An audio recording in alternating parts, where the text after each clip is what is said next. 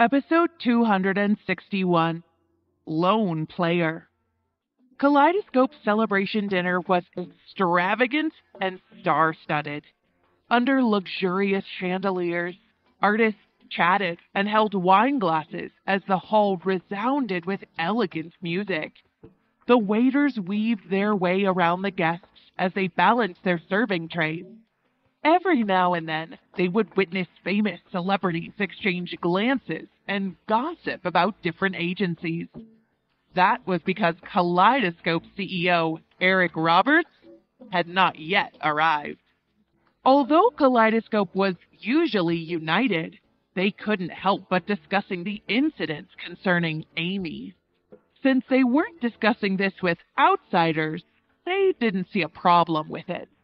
A couple of female artists were deep in discussion about Amy and Emma. Tonight, even the winners of Best Actor and Best Actress can't steal the limelight from Amy and Emma. Hey, side are you on? Between the two, I'd pick Emma because it's obvious that Amy's heart no longer belongs to Kaleidoscope. I don't even want to associate with her anymore. From now on, I'm siding with Emma. By the way, have you noticed that Caitlin Roberts won't be attending tonight?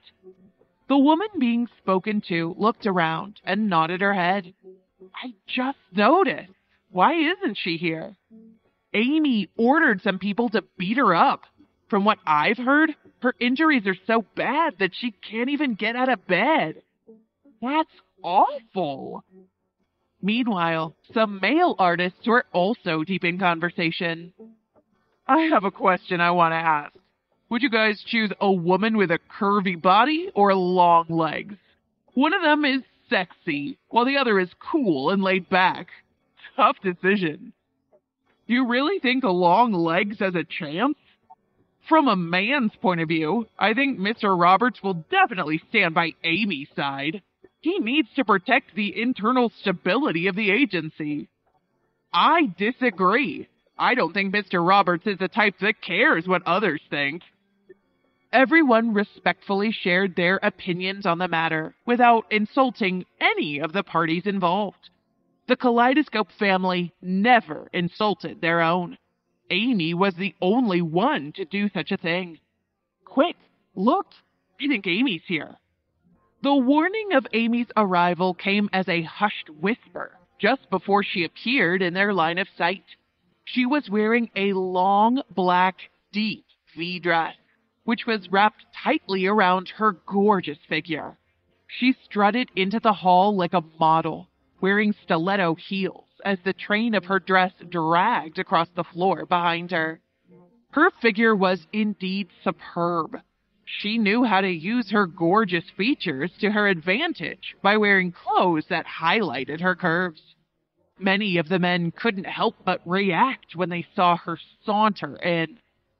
A few of them quickly drank the icy cold wine in their hands to cool off the fire burning inside them.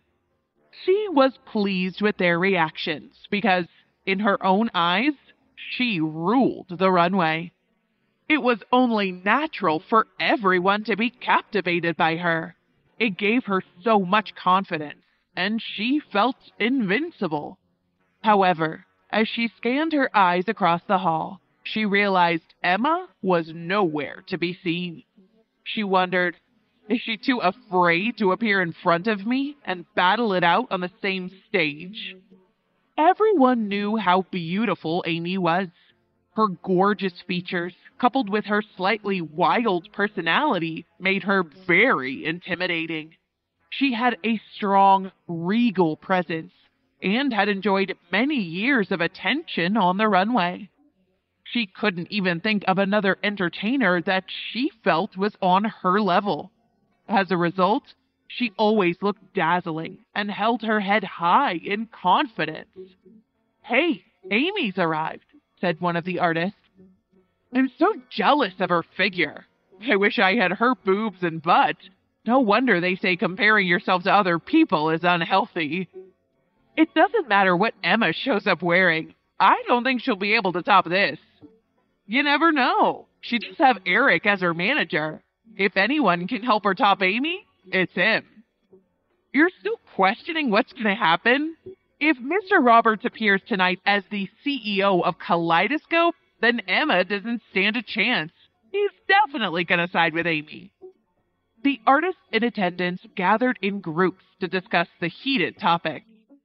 Their anxiety was running high as they tried to decide whether Emma would even show up. Is she coming? Would I know? The celebration dinner continued, and guest performers appeared one after another. Some sang hit songs, and others did dance performances.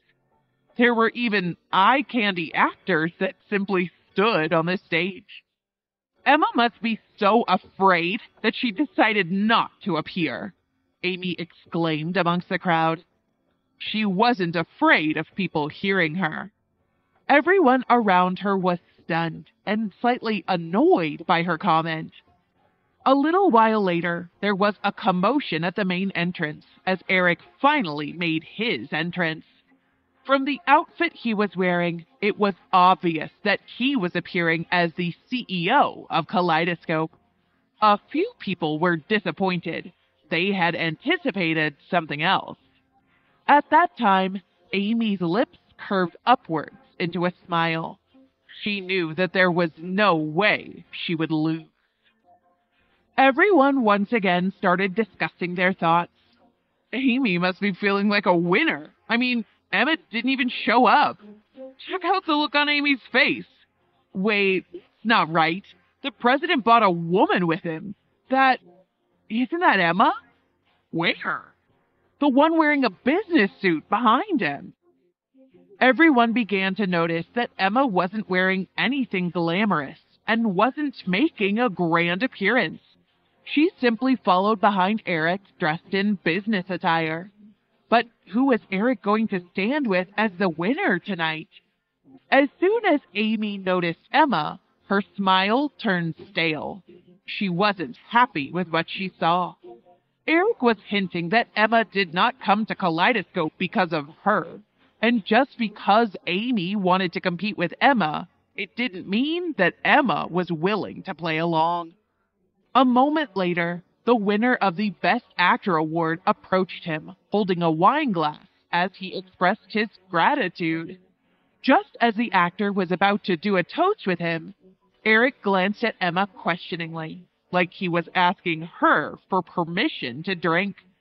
She was surprised, but quickly understood, so she nodded her head. As soon as the actor saw this, he couldn't hold back his laughter. Mr. Roberts, are you asking Emma for permission? What? Is she in control of how much you drink? Well, when I was her manager, she complained that I was a bit too strict. So I suggested that we reverse our roles so she can be my manager instead, he explained as he clinked glasses with the actor. I never imagined Emma had the potential to be a manager. The actor couldn't help but tease. I've never seen you being controlled by someone else. This is quite a refreshing scene to witness. The actor then looked at Emma and said, Thank you, Emma, for giving me the opportunity to witness this.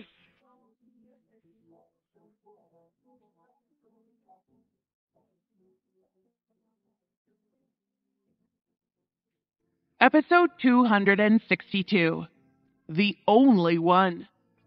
Emma raised her glass in response. The young actor was handsomely dressed in a white cocktail suit. He looked at the inseparable couple and down at the wedding rings on their fingers. Although he knew of their true relationship, he simply sighed and said, Mr. Roberts, you're a lucky man. Emma understood the hidden meaning and gave him a sidelong glance. But the man simply smiled and raised his glass to her once again. Emma, if you ever need anything, don't hesitate to look for me, especially if it's about breaking into the film and television industry. Thank you.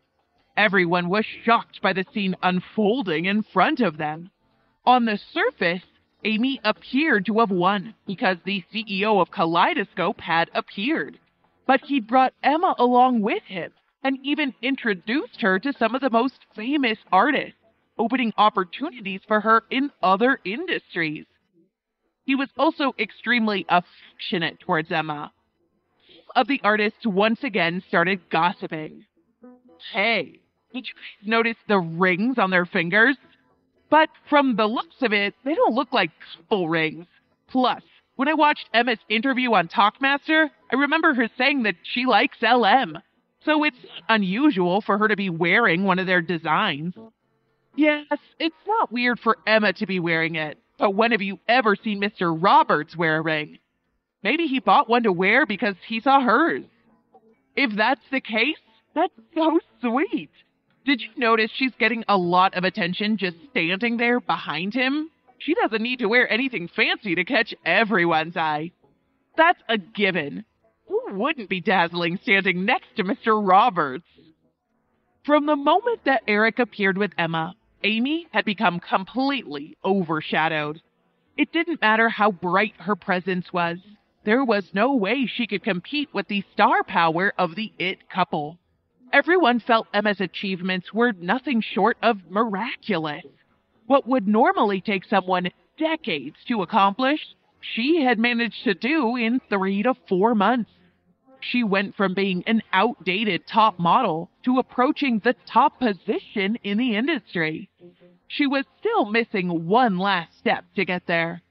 But no matter how many steps she had to take, she had no reason to worry. She had one of the most powerful people in the entertainment industry as her personal manager. But even with all this, no one felt it was all just a stroke of luck. Every move she made caused a stir and attracted a lot of attention. Everyone had seen how she'd fought her way to where she was. So it wasn't odd at all that she managed to attract his attention. However, unbeknownst to everyone, he'd been involved from the start. A top female actress also approached Eric. She then turned to Emma, smiled, and said, I really want to raise a glass to you. Up until that point, Emma had already drunk a fair bit. Normally, her limit was one glass, and she'd already gone beyond that. Eric looked down at her red cheeks and stopped the actress.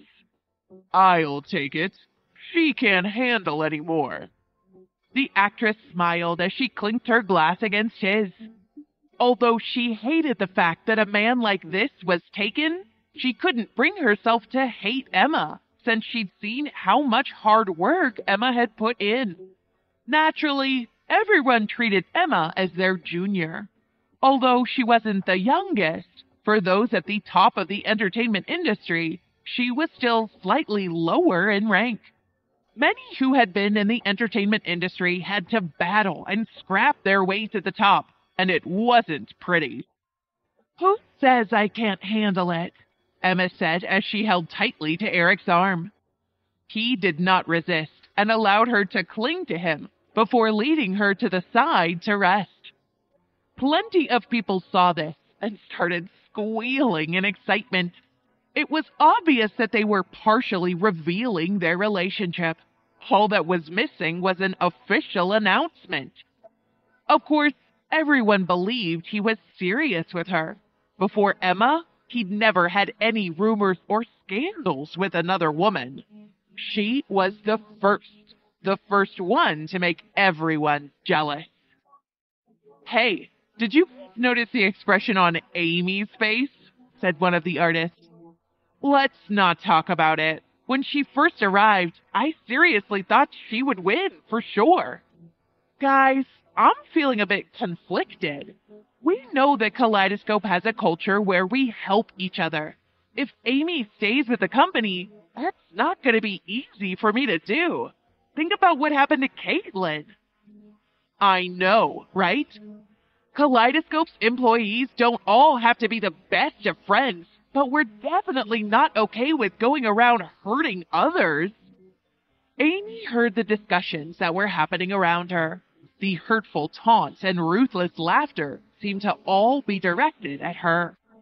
Over the years, she'd done so much for Kaleidoscope and turned down Star King for them. But what did she get in return? Little Emma, all by herself, was enough to make everyone turn their backs on her.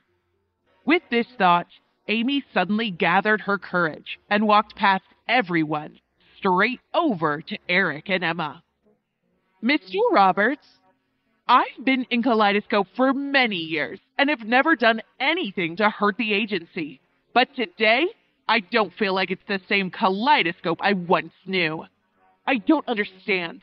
Kaleidoscope has always had high standards, but she. Amy pointed to Emma, who was sitting next to Eric. What right does she have to join Kaleidoscope? I'm sure everyone here at Kaleidoscope is bothered by this. After hearing this claim from Amy, he swept his eyes from her to the people standing behind him.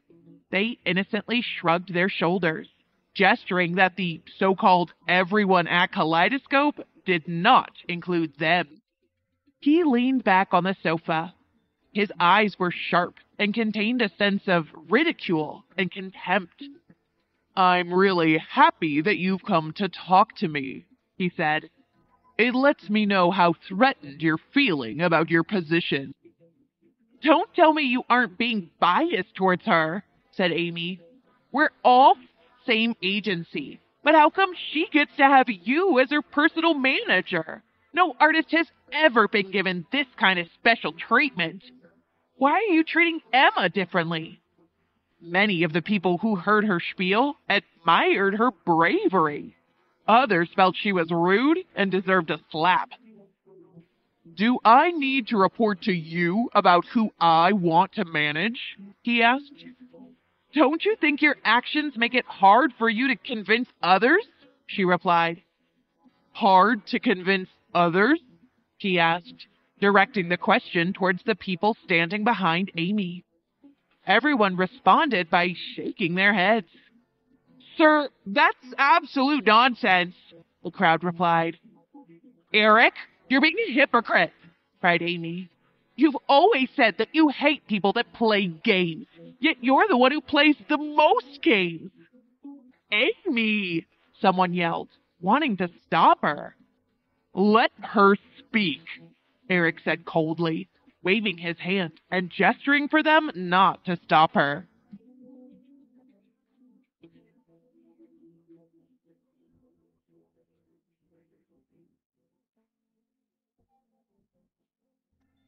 Episode 263 Simply a Famous Model.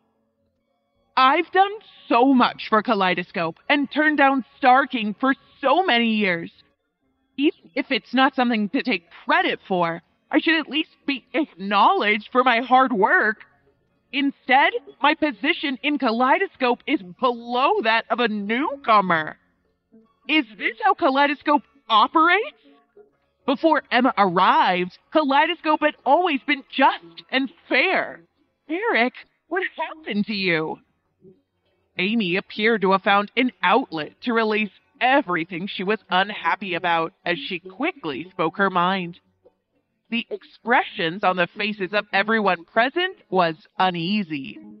They all knew, even though he appeared to be unaffected, the hostile vibe emanating from his body could not be hidden. When he opened his mouth to respond, Emma stretched out her hand and stopped him. She's just one person. There's no need to get upset. Since I'm your manager today, let me handle it. He looked deep into her eyes. In his piercing look was also a sense of trust. Emma was done sitting back and listening. She wasn't just going to stand by and listen to someone hurl insults at Eric. She slowly stood up. She wasn't wearing high heels, but her presence completely overshadowed Amy, forcing her to take a few steps back. What are you planning to do? Amy asked. Are you going to slap me again? Did you think you would have gotten where you are today without Kaleidoscope? Emma asked in a cold tone. I also helped get Kaleidoscope to where they are today, said Amy. You supported Kaleidoscope. Emma burst out laughing before saying, You think too highly of yourself. Everyone here relied on Kaleidoscope to get where they are today.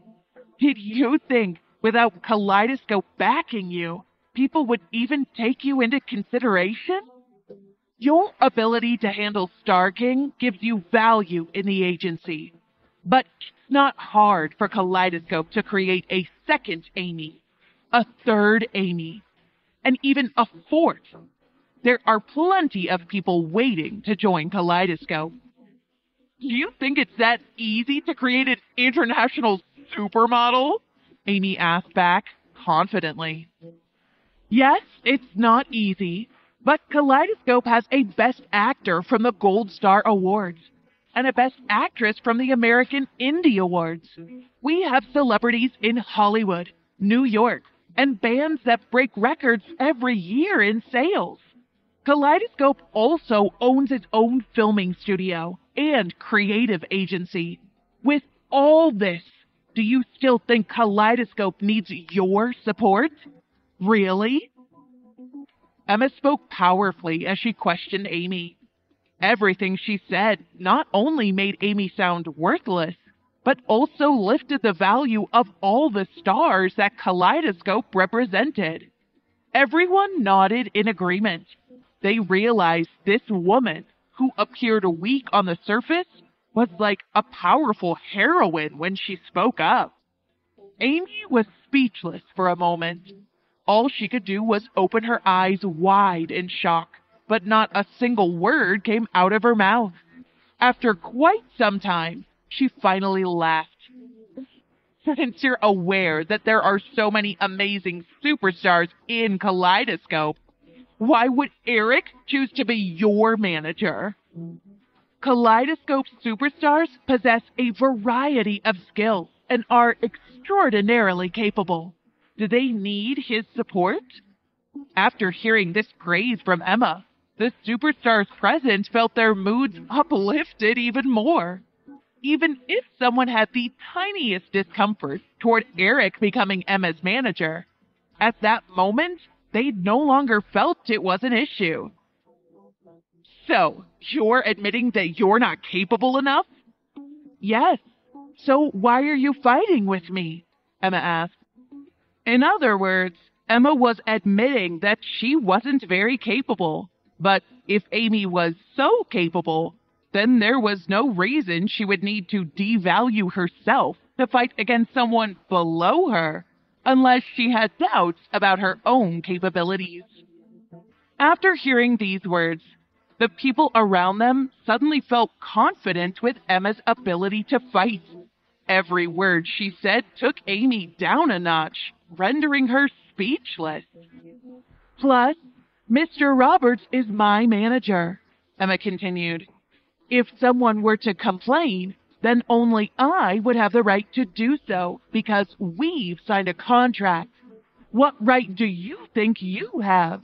To you, he's the CEO of Kaleidoscope, and I'm looking forward to witnessing how the CEO decides to deal with you. Emma returned to her original spot and sat down beside Eric. His powerful presence was completely awe inspiring. Everyone then turned their attention to Eric. Calmly, he announced, Your brand, CC, has been utilizing Kaleidoscope's designer, hasn't it? I will be taking him back. Starting today, I don't want to hear of you using any of Kaleidoscope's resources. I want to see how much you can achieve on your own. I will completely dismiss your team. However, you can keep your manager. Let's play a game and try freezing you out for a few years. I want to see if Kaleidoscope shares will plummet tomorrow because of you. Everyone was shocked. Although they knew Eric was going to punish Amy, they didn't expect him to be so straightforward he actually froze an international supermodel in front of everyone at Kaleidoscope celebration dinner. Complaining in front of me? I'll make you return to nothing. Amy was stunned. Her eyes grew wide and her body stiffened. She'd never imagined he would go this far. She thought she was more important to Kaleidoscope, but in reality, she was simply a famous but replaceable model. Even at that point, Eric did not feel it was enough. He turned to Emma and nudged her forward. Amy has been doubtful of you from the start. For now, I don't need a manager, so you can return to being Emma. Go ahead and battle it out with her. Right here? Emma was surprised. Right here, in front of everyone. Eric continued in a gentle voice. I believe in you. Well, what do you want me to do? Eric glanced at Amy and back at Emma before replying, You simply need to go and get changed. The artists standing behind them were hyped up because of Eric's suggestion. They all started discussing their thoughts excitedly. Oh god, we're about to witness a showdown. Mr. Roberts should have allowed her to attend as a model from the start. This is going to be interesting. Amy's strong points are her curves, and Emma's are her long legs. I wonder which one's going to come out on top. Why do I feel that Eric is doing this on purpose? Isn't he afraid that Emma will lose? Emma can be just as good as Amy. Of course, Emma had already promised earlier that she would put up a good fight. So Emma stood up in front of everyone. With her head held high, she said confidently, Wait here.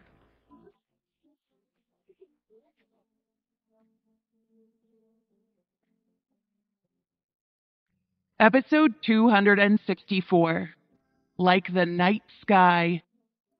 Amy may not have felt great about some areas of her life, but when it came to her body, she was extremely confident. If there was an official ranking for the world's most beautiful breasts, she would have been in the top three. If there was an official ranking for the world's most beautiful butt, she would also have been in the top three. On the runway, these were the features she felt most confident about. She had never lost before. She refused to believe that Emma had any chance of winning against her, even if she had Eric backing her. Amy seemed confused with Eric's suggestion and hadn't fully grasped the seriousness of being frozen. All she was focused on was winning against Emma. Meanwhile, the other artists present were waiting to witness a good show. Kaleidoscope had never experienced an internal battle like this before. And seeing employees of the same agency tear each other apart was a rare sight. They were surprisingly anticipating it. For Kaleidoscope, Amy was a first. She had dared to challenge Eric in front of everyone, so her fate of getting frozen was no surprise. Yet she remained calm and collected.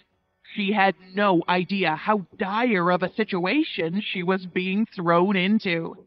She assumed that, even without Kaleidoscope, she still had Star King as a great alternative. While waiting for Emma, Eric stood up and returned to discuss a variety of projects an upcoming movie with one of Kaleidoscope's film producers a hit song with a music producer, and scripts with a few actors. He didn't seem worried at all that Emma would embarrass the agency and make him look bad. However, there were a few actors that were a little worried. After all, Amy was the first person to lay everything on the table with Kaleidoscope over the years, and she was quite charismatic. Mr. Roberts, Will Amy expose Kaleidoscope's internal dealings to outsiders? Hearing this query, Eric smiled and replied, If she plans to do that, she will need to prepare to part with $200 million. 100 million to compensate Kaleidoscope, and 100 million to compensate everyone affected by her claims. We'll simply do a little bit of PR, and the damage shouldn't be too much. In other words, she would have to be crazy to throw away money like that.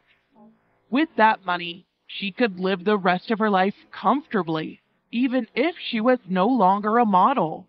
Kaleidoscope had never experienced an internal betrayal over the years because the penalty was too high. At that moment, she stood amongst the crowd all on her own. No one wanted to talk to her.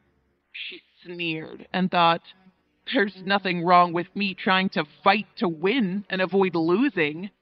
Just wait and see, she said aloud. When Emma comes back, I'll be the one looking down on all of you. At the same time, the public were also paying attention to the two women. It was rumored that they would both be at the event that night, but because Kaleidoscope didn't invite media to the dinner, the public couldn't receive any updates.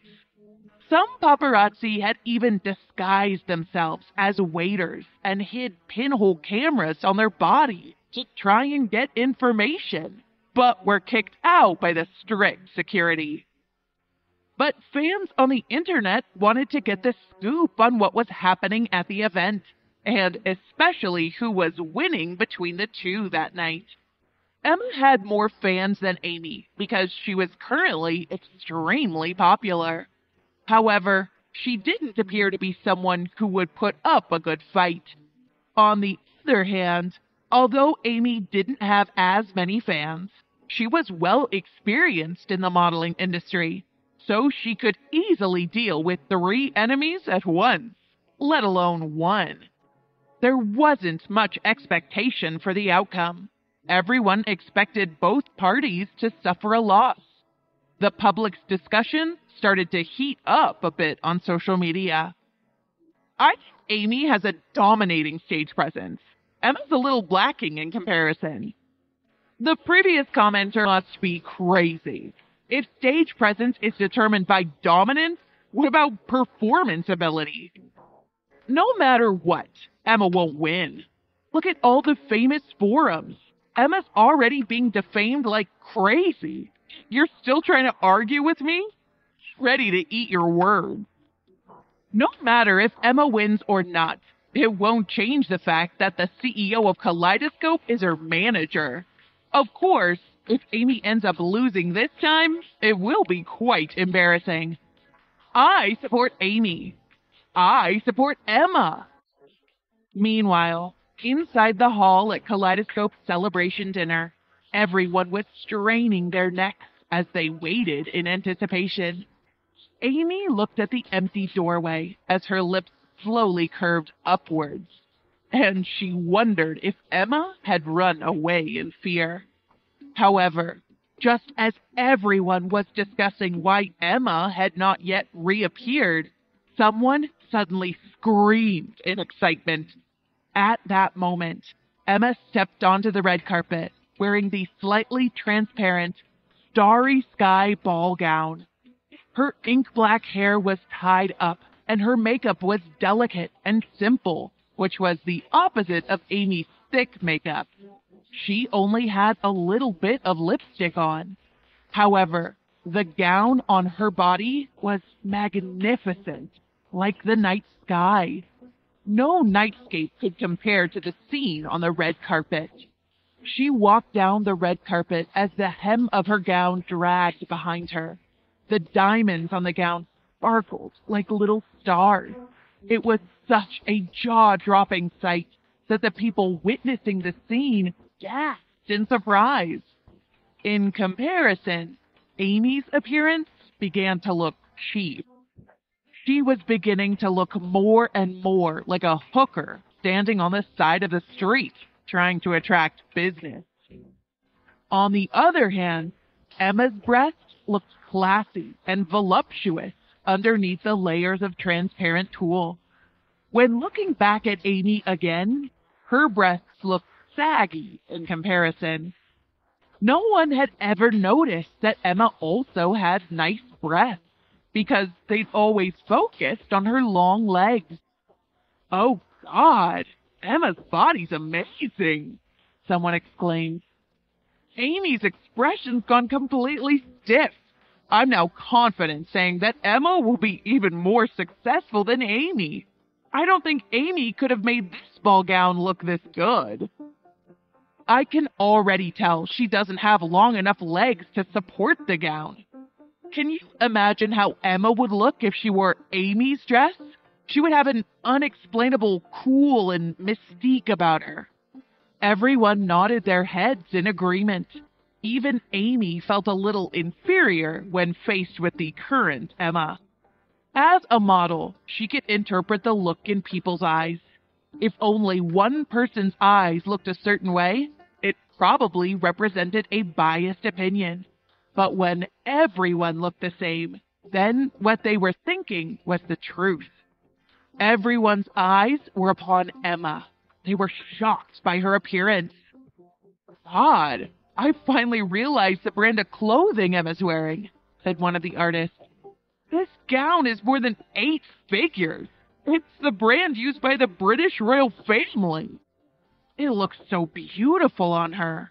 If she were on the runway right now, I probably wouldn't be able to resist, even though I might not be able to afford it. Emma's really good at influencing people to like what she's wearing, not just the person wearing it. She's nothing like Amy. Whenever I see Amy on stage, I forget she's even wearing any clothes. All she knows how to do is show herself off. She has no idea how to truly exhibit a piece of clothing.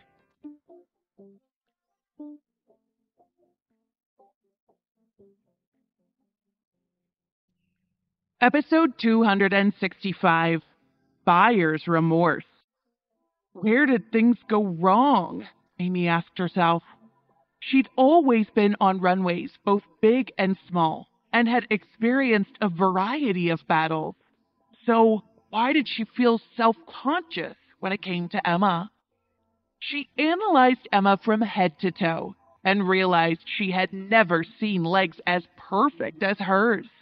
And it was not surprising that, because she'd worked out to achieve perfect legs, she also had a great butt. So, the two things Amy was the most proud of, Emma also had. But the thing that Emma had, she would never be able to possess in an entire lifetime. Under the luxurious lighting, everyone's focus was on Emma. Amy couldn't bring herself to accept the outcome, so she just fell onto the floor. But not surprisingly, no one stretched out their hand to help her up. What's the point? said one of the artists. She brought this on herself. Amy's so arrogant. She always thought Emma would lose to her. The fact that she ended up this way is not surprising. Emma's more well suited for the runway than Amy. I've yet to see a piece of clothing that Emma doesn't wear well. She has a model figure. At that moment, Amy no longer heard anything because allowing herself to hear the comments would also allow her to feel hurt. She'd always killed it on international runways, but that was because she wore clothes specifically chosen for her body by her designer. But there were a lot of styles that she couldn't pull off. Emma, on the other hand, was more versatile. She knew how to connect with her clothes and work them to highlight their features. Emma also had the same confidence that Amy had. She just chose to keep a low profile. Attendees even snapped photos of the two women on their phones and compared the two. One appeared cheap and sleazy, while the other was shockingly beautiful. Emma had made her way over to Eric and asked, What do you think? He responded, I'm starting to regret buying this gown for you. Right now, all I want to do is remove my jacket and wrap you up in it. Her face involuntarily turned red. Afterwards, he let go of her and ordered the security, Please escort Miss Grace out of the building. No need. I can show myself out. Amy stood up from the floor in embarrassment. With her last bit of stubbornness, she made her way out of the hall. I'll never forget this humiliation. Amy's a sore loser, someone observed. It must be because she'd never imagined she'd be overshadowed by someone, so she suffered quite a blow. After Amy left, everyone tried to lighten the mood. Some even approached Emma to flirt with her. But before she could respond, Eric removed his jacket and wrapped it around her. Is it possible, everyone thought, that the infamous CEO of Kaleidoscope is feeling a little jealous because Emma's gown is too revealing? If he couldn't handle this, what would he do if Emma was to walk in an underwear show? Hey, Emma protested. Don't be jealous. Eric stood by her side and simply replied, Since you've returned to being the model, Emma, then I am naturally your manager again. Whatever your manager instructs you to do, you must obey. The artists around them laughed. It seemed this gown was the most regretful piece of clothing Eric had ever bought.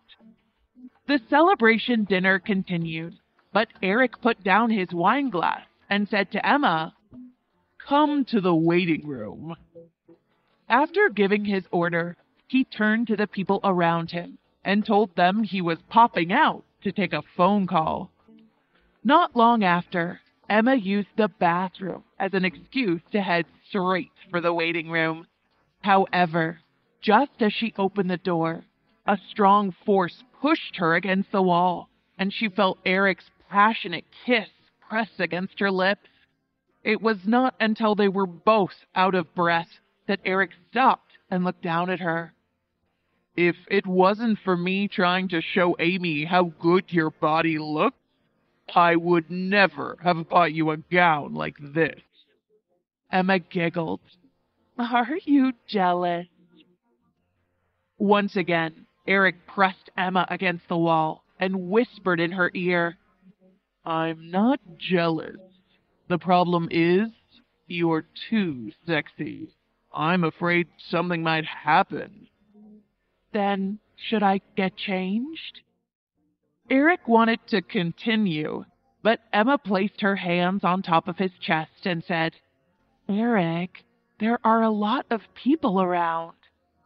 In the end, Eric simply nibbled Emma's ear for a little while before letting go. Hurry and come back out. Eric let go of Emma and left the waiting room. At that time, everyone at Kaleidoscope was talking about some photos online.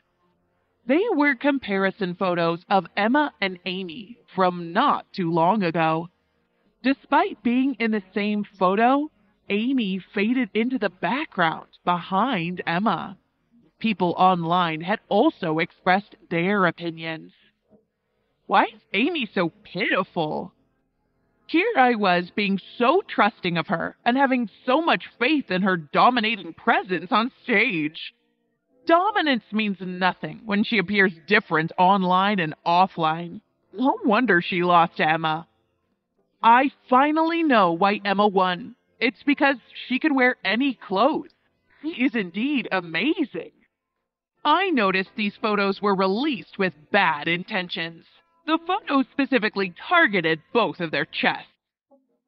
I'm sorry, but I must say Emma is the winner. It has nothing to do with her clothes. On the way home, Amy lay in the back seat and burst out crying. Meanwhile, sitting in the driver's seat, Charlene found herself unusually pleased with the result.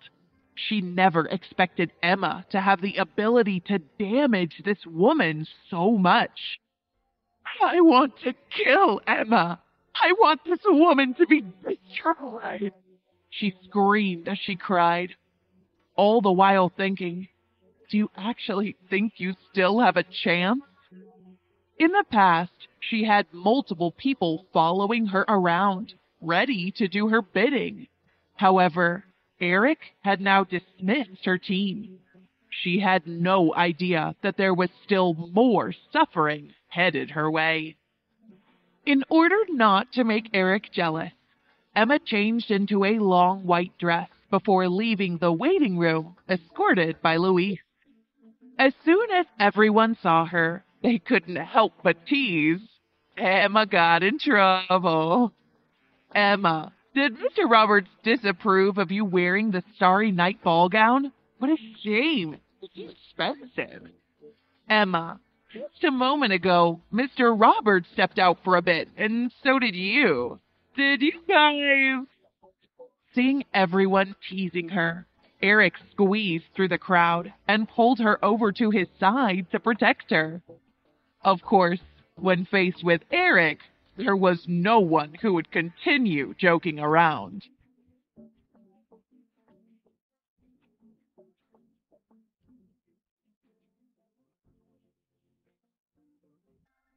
Episode 266 Surprise Performance. Under the bright lights, Emma turned and glanced at Eric, who was currently scanning her body up and down in admiration. She looked at him curiously and opened her mouth to speak, but he beat her to it. I have some good news for you. What? She looked at him questioningly, biting her lower lip. World class designer Claude sent Kaleidoscope an invite. He wants you to attend the launch event for his new product. He explained, You're one of the few models in the world who has attracted his attention. She was shocked. How did that happen? A while ago, I sent in your information for the Most Beautiful Legs in the World award and Claude was fascinated by you. He grabbed two glasses of champagne from a passing waiter and handed one to her. It's a shame we missed out on the Victoria's Secret event. We still have next year, she comforted him. A year might be a long time, but I still have a chance to appear on their runway. He reached out and stroked her hair as he said in a gentle voice, You've already gotten this far in just four months. You're amazing. I have no doubt you'll be at the show next year. When are we leaving for the launch event? she asked. The 18th. I'll go with you and help you with anything you may need. Her eyes reddened as she held onto the champagne with one hand and grabbed his hand with the other. She discreetly intertwined her fingers with his. Hey, Emma, the song you sang with Caitlin at the award ceremony was really nice. Will you sing it again? Everyone started getting hyped as they begged her to perform. She wasn't a singer, and with so many famous singers in attendance, she didn't want to embarrass herself. I only sing for fun, she replied. We don't care. Jake isn't an actor, but he often guest stars on shows. That's right. Go on. She looked at Eric helplessly as she pinched his hand in a silent plea for help. He simply smiled and said, Go ahead. She lifted her head and looked around as an idea popped into her mind. She grabbed his hand and dragged him toward the stage with her. Everyone murmured in surprise as they watched them. Wow, is Eric gonna sing too? I wonder what he sounds like. I hope he's not tone deaf. The crowd quickly gathered around as the two got up on stage. She held onto a microphone and held out the other one to him, saying, you don't have to if you really don't want to. But I just, I know your work habits, but I don't know what else you're good at or your hobbies. He lifted his eyebrows, Doesn't the news tell you everything I am and am not capable of? You and I both know you can't trust everything you read. You really want to sing with me? he asked. She nodded. He didn't say anything. He just grabbed the microphone from her and set it to the side. He looked over at the violinist and said, Pass me the violin. The man quickly handed over his violin. He held the violin in his hands and looked at her. I don't want to sing. There are too many people here. I can play background music for you, though. You can't sing? she asked.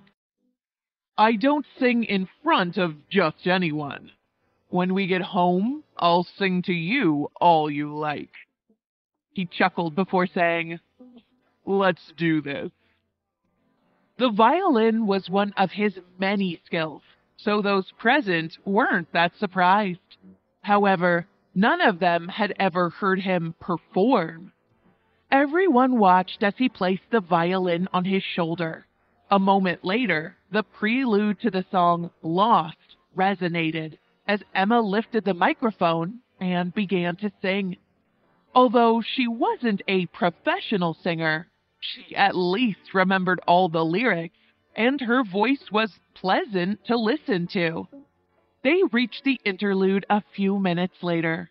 The melodious sound of the violin intertwined with the song, surprising most of the singers present. Eric's part was the most passionate part of the song. Emma was also mesmerized. She was used to seeing the suited up CEO version of him who ruled the business world. It was rare to see this side of him, and the fact that he played the violin was a shock to her. She was in a daze and forgot that the song was only halfway through. He glanced at her, but she had already put her microphone down, content to listen to him play the rest of the song. He stared at her as he concentrated on playing. After he finished, he returned the violin to the violinist. In all the celebration dinners Kaleidoscope had hosted over the years, Eric had never let go like he had that night. Not only did he laugh and chat with everyone, he even performed on stage. After their impromptu performance, the rest of the celebration dinner seemed to go by in a flash. Emma had been in heels for hours, and her feet were killing her. Eric glanced at her, noticed her discomfort, and knelt down in front of her. Hop on. I'll carry you to the car. There are people outside, she said, trying to get him to stand up. You're in pain. You can either get on willingly or I'll force you, he said. She sighed and climbed onto his back. People will talk. No one outside our agency knows the truth, and they wouldn't dare spread any rumors. He replied, The public won't hear anything until I want them to. We're very good at keeping secrets. Like her and Amy's comparison photo, he thought to himself. Emma was still unaware of the photo or the fact that Amy was severely beaten when she got back to her apartment. Eric was a firm believer in an eye for an eye and Louise's plan had delivered on that perfectly. Even if Amy were to go to the hospital, she would have no idea who attacked her. Charlene was also unable to avoid a beating, but she knew it was Kaleidoscope's doing and didn't plan on sitting idly by. She planned on taking their secret with her to Star King so she could live happily ever after with her boyfriend.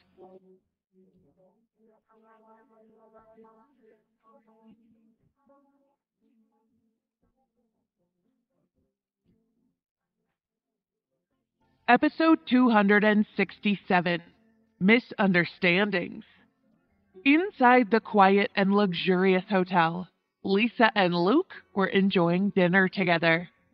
Luke kept his promise and didn't make things difficult for her, following their agreement not to meet his parents. However, she was so nervous about his suggestion to go to his house after dinner that her palms were sweaty. She wasn't as prepared to take their relationship to the next level as she thought. She browsed the news on her phone as she ate her steak in an effort to distract herself and came across a photo and news clip about Charlene being seriously beaten. She lifted her head and looked at Luke before showing him her phone. Was this Eric's doing? He glanced down slightly and said, confused, Apparently, your sources are faster than mine. She was surprised by his reaction and said, I'm just being nosy. I'm sure everything is under control and there's nothing you need to know. However, the fact that she found the information before the paparazzi and major media companies was a feat in itself. Is she stupid? Does she really think people will care about her complaining and whining like this? She asked. First, she was humiliated by Amy and then punished by Kaleidoscope. Even Star King cut off their communication with her. What else can she do but go online? He looked at her as he put down his knife and fork. Are you going to spend our entire dinner talking about work? She felt herself get flustered again as she replied in a small voice, You make me nervous. Me? he asked, confused. You said we were going to your place after dinner, she said. Luke let out a small laugh. Weren't you the one who said you wanted to wait until you got married? Why would you assume anything's gonna happen tonight? She let out a sigh as she complained. It's my fault. Everyone knows that's what happens when a guy invites a girl to their house after a nice dinner like this. I'd never take that step without your permission, he said. She playfully threatened him with a fork.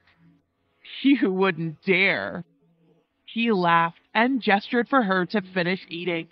She finally relaxed and enjoyed the rest of her delicious dinner. After dinner, they went back to his apartment. As promised, he didn't take things too far, but he did press her against the sofa and kiss her passionately. Her heart raced as they kissed like there was no tomorrow. After several minutes, he pulled away and went to the bathroom while she laughed quietly and pressed a hand against her chest breathing hard. Inside the dark and dreary apartment, it was so quiet you could hear a pin drop. Charlene was hiding in Amy's room. She had exposed everything online, but despite the beating, she only had minor injuries. She'd gone to her boyfriend's home following the assault and planned on exchanging Kaleidoscope's secrets for a position in Star King. But when she got there, she caught him having sex with a couple of models. She had left distraught and broken-hearted, with nowhere to go. Though she still had a key to Amy's apartment and decided to hide out there, unsure of what to do next. She looked around Amy's apartment and, in a fit of desperation, stuffed all of Amy's jewelry into her pockets she considered it a bonus after all her years of hard work. It wasn't much, and she was sure Amy wouldn't miss it. As she thought about all the abuse she had endured at Amy's hands, she decided to scour the apartment and take whatever she could find. As she was leaving the apartment a while later, she received a phone call from an unfamiliar number.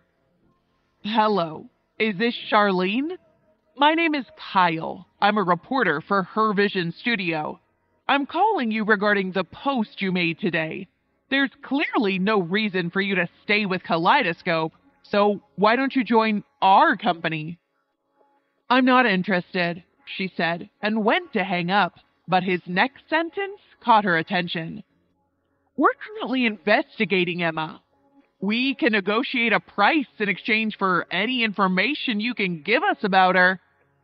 Grinding her teeth at the mention of Emma, she said, I need a place to stay. No problem, Kyle responded. Give me your address. I'll head there now, she said. Her vision had been trying to collect information on Emma for months, especially the men they believed she had been with. They didn't think her achievements or recent signing with Kaleidoscope were fair and wanted to expose her for the fraud they believed she was. Charlene stopped her car outside her Vision's headquarters, a little nervous. However, she'd already lost everything so there wasn't much more they could do to her. Gathering her courage, she entered the building and met up with Kyle. He showed her the information he had already gathered and explained, I've been trailing her for two months, trying to find out what she's hiding, and finally captured a photo of her kissing a man. There are even rumors that she's with the CEO of Kaleidoscope. This woman is a liar who keeps claiming she's single, yet meets up with a different man in every country. She looked at the blurry pic. There was no way she could tell who the man in the photo was, let alone tell that it was Eric. What do you want me to do? she asked. Do you have any information about Emma and Eric? Photos, anything? he asked. All we're missing is solid evidence. I'm sure she'll end up meeting with another man. And I want to be there to get a photo and finally destroy her.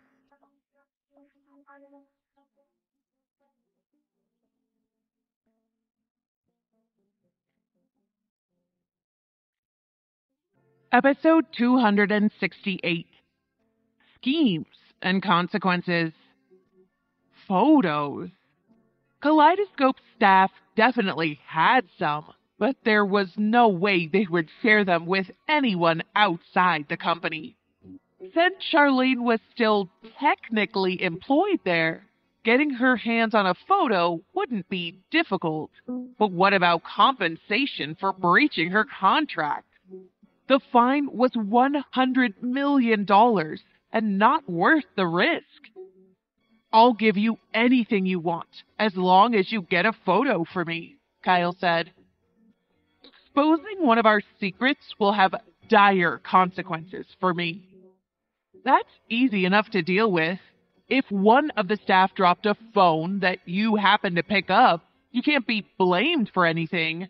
Even if Eric found out, he would target the person careless enough to drop their phone, not you, he reasoned. She contemplated it for a minute and thought it sounded reasonable. What do I get out of it? I'll give you shares in her Vision Studio. Once Emma's lies are exposed, we'll become famous. You'll have more money than you know what to do with, he said, smiling at her. Just the thought of Emma and the rest of Kaleidoscope's artists groveling at her feet made her exceptionally happy. She nodded her head and signed the contract. All she had to do now was find evidence of Emma sleeping with other artists and hope that everything ran smoothly. But if she got caught, she would wish she was dead. Eric and Emma got home from the celebration dinner reeking of alcohol. The couple fell onto the sofa, she lay on top of him and rubbed her nose against his neck. I'm really happy, Eric. I can tell, he said, smiling as she snuggled against him. It was rare for him to see her as relaxed and happy as she was that night, especially in front of so many strangers. He would do anything to keep her this happy all the time. So, what else can you do? Can you dance? she asked. Instead of answering, he helped her up and led her in a dance on the slippery tiled floor. She leaned on him and copied his movements. Neither of them spoke, but they didn't need to. This moment was just for them. She wished she could stay like this forever. A while later, she asked quietly, Have you thought about what you'll do if the staff at Kaleidoscope doesn't accept our relationship? I've been worried that someone else will cause trouble, like Amy did. If anything happened, I'd blame myself. You were so confident when you went up against Amy, he said. I'd never let someone hurt you, she replied. Of course I'd be angry and defend you with everything in me. He hugged her, a smile gracing his face. Her protection of him filled his heart and made him so happy he could burst. It was nice knowing that she had his back, just like he had hers. I will always give my all and fight back, no matter how scared I am, she said. He froze before wrapping his arms around her and pressing her against the back of the sofa. I don't need you to give your all. I just need you to give yourself to me. She lifted her head and nibbled on his lower lip before intertwining her tongue with his. She wrapped her arms around his neck and murmured, I feel like I fall more in love with you every day. You've only realized that now, he teased. I accept my fate, she said, before pushing him down on the couch and covering him with her body. Let me take the lead for once. The following morning, rumors started circulating about Amy being banned from the company. The PR department didn't deny anything, hinting that the rumors might have been true. It was no secret who started these rumors Kaleidoscope itself. Their company had always been united, so the fact that Amy was brave enough to challenge Eric's authority like this meant that she was planning on leaving the agency sooner or later. Hence, it was better for them to get rid of her quickly. They were sending everyone a message anyone planning on disrupting the culture of the company would end up like Amy. She was the first artist they had ever banned, so the impact was even more shocking. Amy sat in her hospital room as she read the news on her phone, tears rolling down her pale and wounded face. She couldn't believe that she ever thought she could destroy Eric. What a joke! Now her career was ruined. She cried as she smashed her phone. Surprisingly enough, Luis was the first person to visit her in the hospital. Of course, he didn't come empty handed, he came with a compromise. Although we don't owe you anything, you've been with us for several years, so Eric has decided to let you keep Cece. I'm sure he's only doing this out of pity, she said angrily. What did you think? he replied.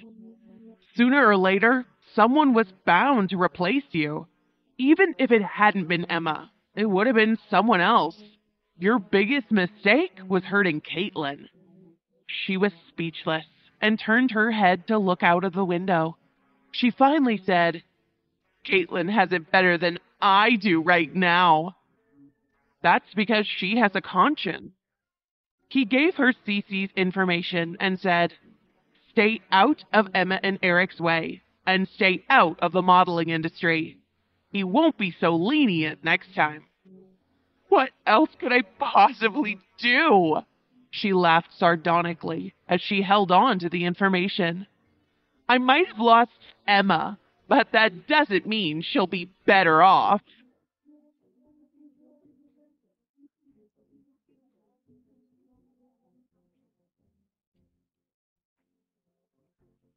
Episode 269 Savior. It's not up to you to decide whether or not she'll be better off. You need to worry more about yourself. Luis turned to leave, but looked back when he reached the doorway. I've lured the media away. this is your best chance to get out of here. Amy looked at him and said, I know you think I'm pretty. Why don't we have a little fun before you leave? He scoffed.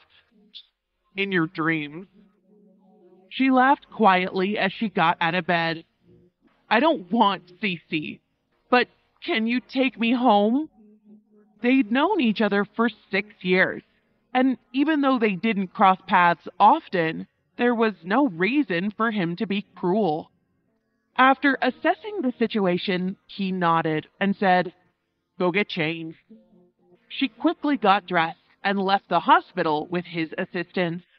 When she got home, she saw that it had been ransacked and was a mess.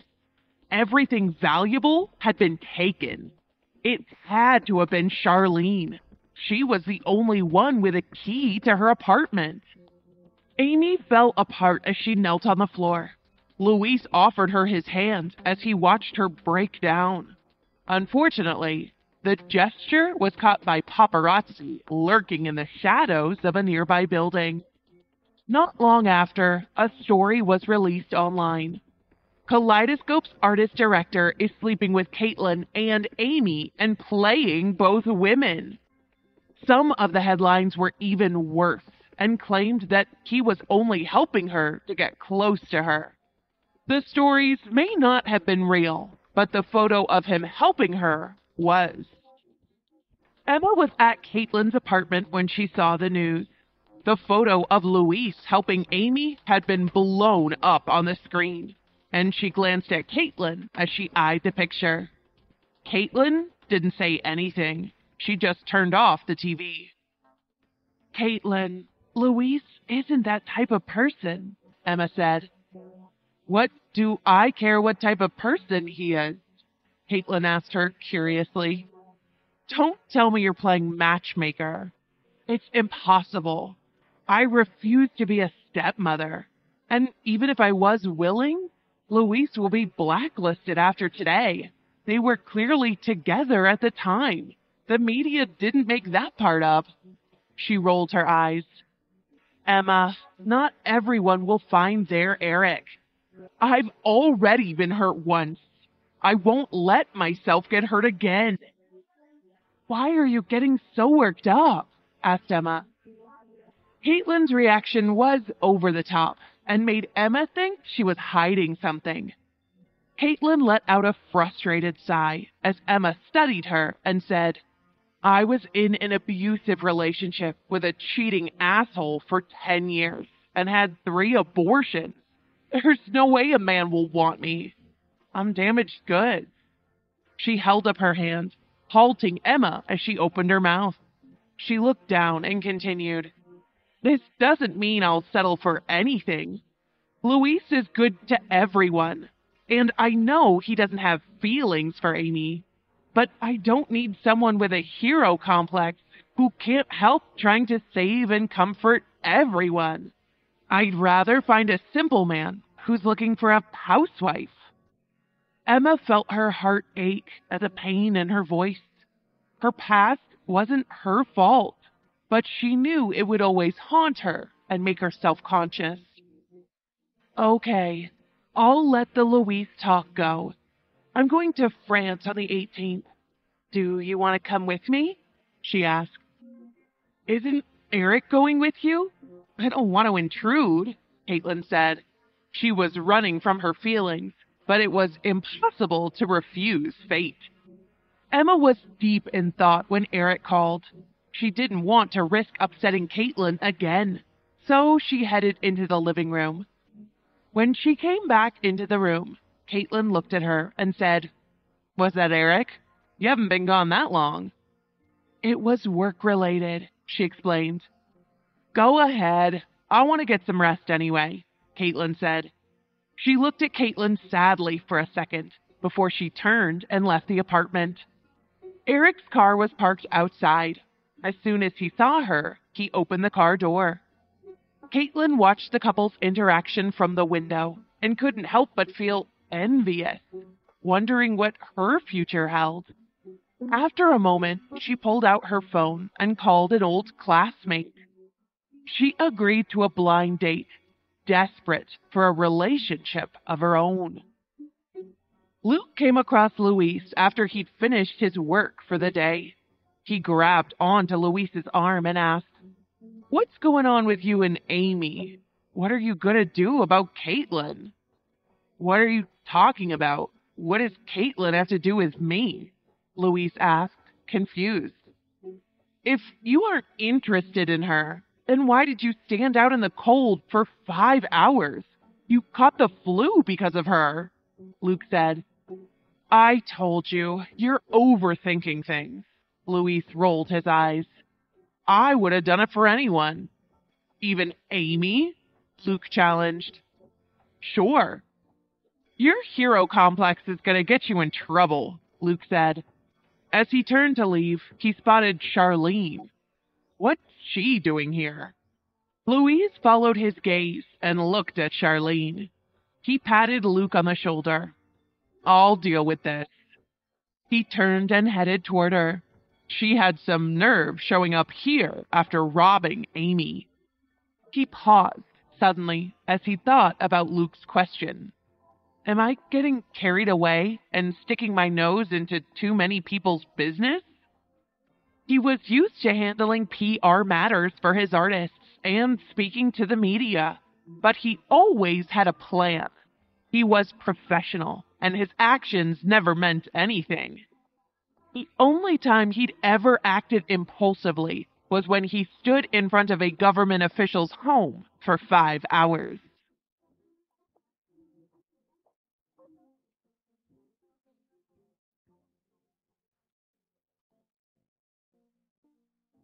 Episode 270 What Do You Like the Most About Me? Luis could not explain himself to anyone because he also did not know why he would suddenly feel attracted to Caitlin after seeing her stick up for Emma. He'd been single for so many years. It didn't make sense. No matter the reason, Luis, who had never cared about the rumors created by the media, immediately made a move after the rumors of his indecent relationship with Amy. He quickly exposed a scandal about an artist from another agency and diverted the media's attention. Upon returning to Kaleidoscope, Charlene felt as unwanted as a sewer rat. She thought she was being discreet, but as soon as she stepped through the front door, she was met by Luis and Luke. These two men were meticulous in their work, so there was no way they wouldn't suspect Charlene's motives. Especially since Luis knew Charlene had robbed Amy's home. Charlene had originally wanted to find a fellow manager she was relatively close to, but before she could even lay eyes on the man, Luis had ordered security to tail her. Charlene noticed this and was overcome with anger. She was, after all, a staff member of Kaleidoscope, yet here she was being treated like a thief. Charlene was so angry that she stormed directly over to Luis's office and demanded, What's the meaning of this? Louise calmly closed his documents and looked up at her. It's a necessary precaution, I'm afraid something might go missing at Kaleidoscope. You're going too far, Luis. Mm-hmm. I'm sure you know better than anyone what happened at Amy's home, she replied in a cold tone. Her face paled, and she was gripped with panic. But her cunning nature persevered. How should I know? All I know is Kaleidoscope hired someone to beat up Amy. Luis lifted his head and glared at her, finally understanding the reason Amy turned out the way she did. He still had to wonder how did Charlene join this agency in the first place? Charlene wasn't dumb. When it came to business, she was extremely crafty. As for what she said, she was obviously accusing Luis of not having any evidence and was showing that she, too, could go around saying whatever she liked. I'll send you a contract termination from the lawyers soon, he said. Charlene's expression hardened. She'd not yet achieved her goal. However, since this decision had to come from Kaleidoscope's higher ups, no matter how she struggled, there was no way she'd be able to change Eric's mind. So, without hesitation, she said, You'll regret it. She then left Luis's office, but she did not leave Kaleidoscope straight away. Instead, she headed over to one of Kaleidoscope's waiting rooms. She knew the makeup artists and models had a habit of leaving their phones lying around on the dressing tables, and it was no different that day. Charlene found the right moment, and she pretended to slip, falling onto one of the tables. Be careful, exclaimed one of the artists. Charlene held onto her wrist, pretending to be in pain, as she slipped one of the phones into her pocket. Wasn't Amy's manager? Someone commented. Is there something wrong with her? Who knows? From the looks of it, she's probably going insane. No one noticed what Charlene had done, nor did anyone notice their phone had gone missing. After all, losing a phone in the waiting room was a common occurrence. But even though Charlene managed to steal a phone, there was no way for her to unlock it. All she could do was take it back to her vision and hand it over to Kyle.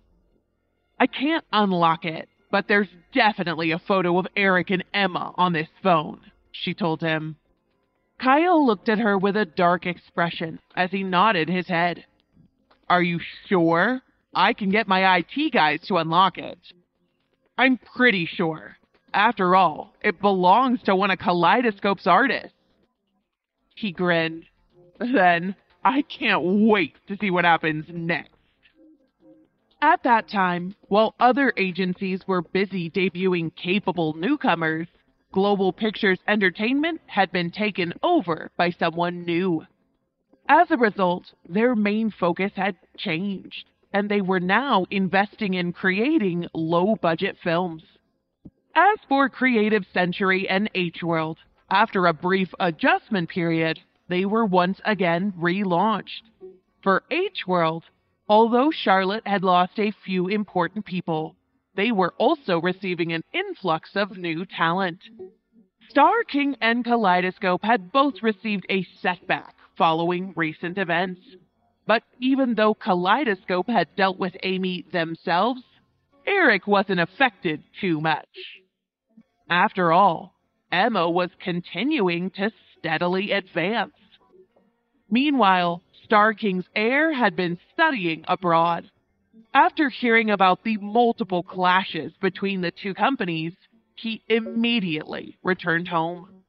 But no matter what happened, no matter how many newcomers Star King produced, and no matter how they tried to use Emma to create a scandal, they couldn't overcome Emma's tolerance and professionalism. Under Eric's protection, she was slowly becoming more mysterious. She deliberately avoided contact with Eric in front of the media, making it harder and harder for them to dig up information. This made the fans who supported them as a couple more and more desperate. Around that time, Star King's heir, Henry Roy, released a pair of twin models onto the world. Within a few short days, they had captured all the biggest headlines. According to rumors, these two models had been trained to suppress Emma and were aiming to be the next Amy Grace. No matter if it was in terms of mysteriousness or attractiveness, Henry Roy was a worthy rival for Eric. He was young, carefree, and more approachable than Eric. His appearance was bound to have a certain degree of impact on Kaleidoscope. Late one night, Emma sat up in bed reading through the day's entertainment news. Amongst the articles was an unprofessional comparison between Eric and Henry. After seeing this, Emma started laughing, especially when she saw the part comparing their bodies. Henry was the type of man who liked exposing his body, but Eric never showed off his attractive physique. Others may not have known about his body, but Emma was well aware of it. Although she couldn't deny that Henry's looks were beyond average, when compared to Eric, he was still miles behind. Eric had just finished exercising and returned to the bedroom covered in sweat. Upon seeing Emma laughing, he couldn't help but question her. What are you laughing about? Emma lifted her head and looked at his perfect body. Still chuckling, she shook her head. He approached her curiously and grabbed the entertainment magazine from her hands. After looking at the comparison article, he handed it back to her. Tell me, which part of me do you like the most? Both men were handsome, rich, and capable, with great physiques. Most women were attracted to money, but Emma wasn't like most women. So Eric was curious. I like that you're capable, Emma replied in a soft voice, lowering her head. There was a double meaning in her words. After hearing this, Eric lifted her onto his lap and asked, In what way? Huh? Emma gasped in surprise as she hooked her arms around his neck. You scared me. Hurry, go have a shower. You're covered in sweat. Answer me first. Emma's cheeks burned red as she said, Every way. I want more detail. Mr. Roberts, you're being unusually silly tonight, she teased, but her heart raced uncontrollably as she wondered how could any woman answer a question like this?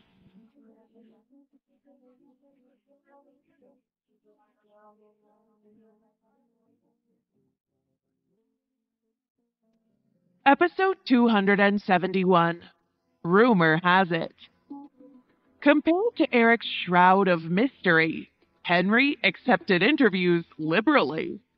Whenever reporters came across him on the street, if he and his date were in a good mood, he would generously answer all their questions. He exemplified this behavior when he returned to the United States with a gleaming smile. Despite the frigid weather, all he wore was thin board shorts, dark Ray-Bans, and a twin model on each arm. He welcomed the reporters who approached as soon as he deboarded from the cruise ship. The press was eager to write their stories of the young, charming, and very wealthy playboy.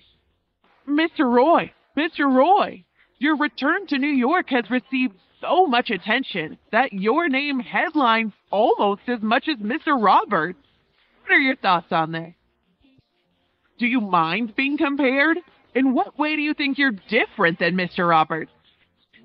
Henry stopped in his tracks and peered at everyone over the rim of his sunglasses before throwing his head back with a hearty chuckle.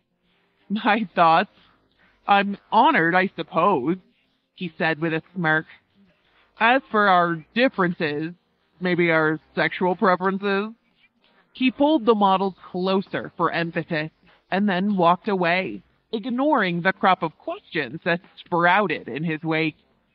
Henry's mission had been accomplished, and rumors spread like wildfire about the 32 year old CEO of Kaleidoscope, specifically his apparent interest in men. Since Eric had taken over Kaleidoscope, there had not been much discussion surrounding his dating life. He always kept a low profile and never had scandals. Although he never had any rumors with women, much less men, it made it hard to refute Henry's implications. In sharp contrast, the 27 year old Henry had gone through nearly as many girlfriends as there were models at Star King. Because Eric had never had a public girlfriend, Even revealing Emma now would make everyone assume she was being used to cover his secret. Although none of the rumors made headlines, as reporters were still afraid of Kaleidoscope filing slander claims, the online gossip mill frantically churned.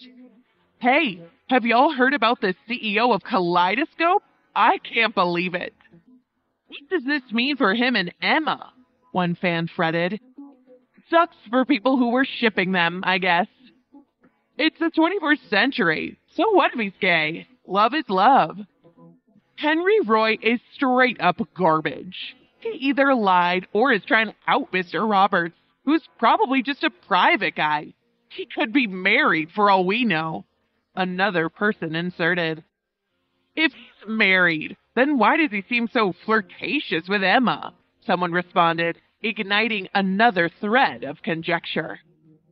Uh, Henry talks all this trash, but he isn't even half as good as Mr. Roberts. Lisa yelled in frustration after seeing the news. Clearly, I can see where Starking gets the nerve. Emma stared at the tightly shut office door with a frown.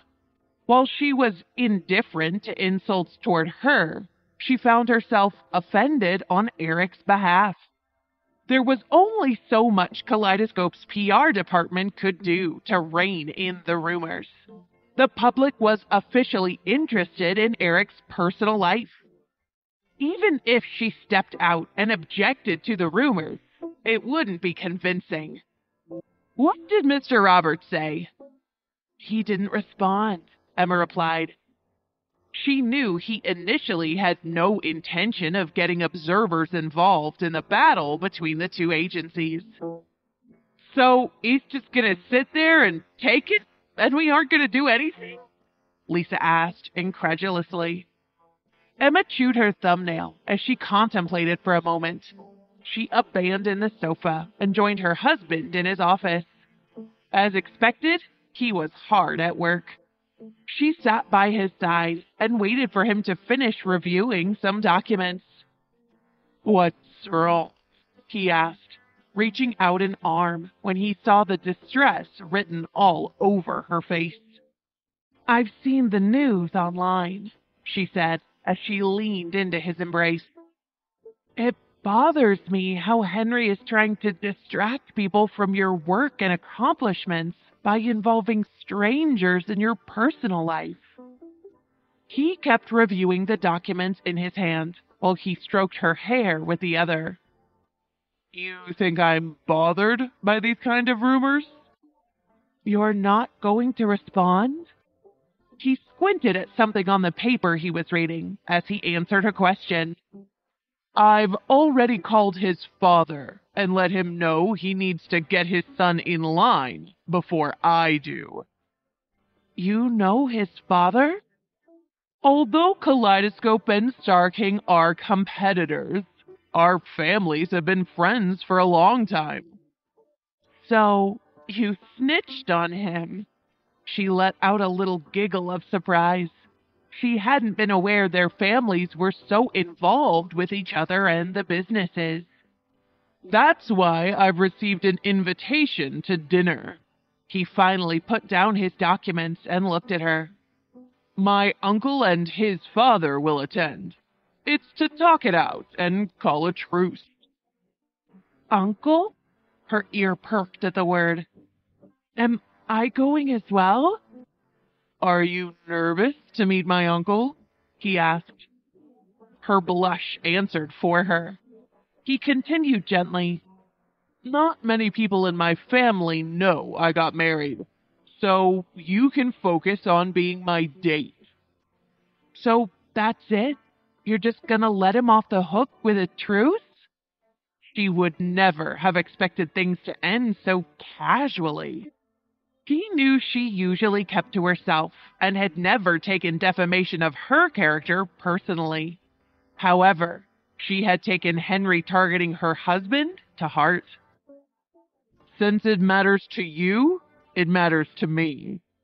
The piercing look he gave her loaded his response with deeper meaning. Knowing he was taking action against Henry eased some of her worry, and she moved her attention to the new subject at hand. When will the dinner be held? she asked. Tomorrow evening. In that case, I'll go pick out a nice dress. Although she would only be his date, it didn't relieve any of her nerves about meeting his uncle.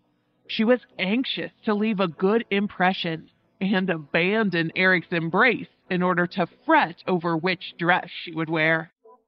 He shook his head in exasperation at her antics, speaking aloud to the empty room. Nothing scares my wife except meeting my family, apparently. Bored of sitting alone downstairs, Lisa was immediately interested in joining Emma as she watched her rush to the closet. What are you doing? Is there another event I don't know about? I'm meeting his uncle, Emma cried out. Honestly, I'm a little nervous. Lisa understood where her distress was coming from. Emma's family situation had always been difficult and complex, and meeting Nathan's family hadn't gone well. She had low expectations about being able to get along with family, which made her panic over meeting a member of Eric's family more than reasonable. Lisa rubbed her back soothingly. You don't need to be nervous. This is coming from the person who got so scared they hung up on Luke, Emma protested. Don't compare yourself to me, Lisa rolled her eyes. Just be yourself and leave everything else to your husband. She grabbed both of Emma's shoulders and looked at her directly. Emma, put on your runway confidence. It's just another show.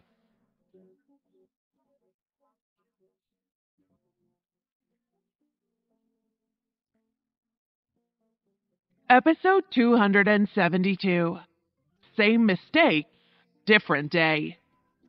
That evening, the phone Charlene had brought to her vision was finally unlocked and returned to Kyle.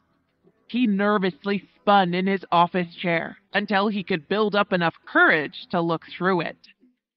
Most of the photos were from the standoff between Emma and Amy on the night of the celebration dinner. As he swiped through the photos, he couldn't help but compare the two models to one another. Emma really is a rare model. She looks good in everything, he thought. Then he frowned. Too bad she likes to play around with men while pretending to be so innocent. The thought fueled him to keep searching until he came across some relatively intimate photos of her and Eric. In one, she clung to his arm while drunk. In another, he was outright carrying her back to the dinner. Kyle sneered at the photos. Although the news had been filled with conjecture over Eric's sexuality, the photos would have collapsed the rumors in on themselves. Eric and Emma were so undeniably close in these photos. No one could deny that they were a couple. But Kyle decided to bide his time. He cheered to himself. Finally, I have evidence. Emma is finally going to get what she deserves.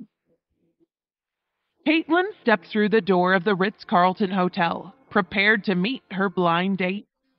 In determination to shed the skin of her past, she had dressed to impress, as if she were headed to an award ceremony instead of dinner. After giving the name her classmate had told her to the host, Caitlin discovered her date had already arrived. She was pleased to discover the Frenchman was timely. Over the years in the modeling industry, she had become well versed in multiple languages, and she felt pride in her ability to exchange greetings and converse in his native tongue. Her date introduced himself as Brett and then praised her proficiency in French before he ultimately switched to English. She hesitantly explained that it was her first time dating in a while after getting out of a relationship with an unfaithful partner. To her relief, she did not find any judgment on his face. He told her about his job as a regional representative of a jewelry company, and he assured her that he was quite single. She was thoroughly impressed by him. They continued to chat at the hotel for nearly four hours before he escorted her home. What a gentleman, she swooned. I can't believe how easy it was to talk to him. She immediately called Emma to report the entirety of the date to her. He didn't care about my past at all, and the conversation was so comfortable. I'm really happy with how it went. Only comfortable? Although Emma was glad Caitlin had an enjoyable time, she found her reaction wanting. Emma pondered silently. Maybe comfortable isn't a strong enough reason for two people to be together. Maybe she's easily impressed because she's been treated poorly for so long. Get to know each other better in time, Caitlin replied cheerily. I have a feeling Brett will turn out to be an amazing man. But Luis isn't, Emma thought.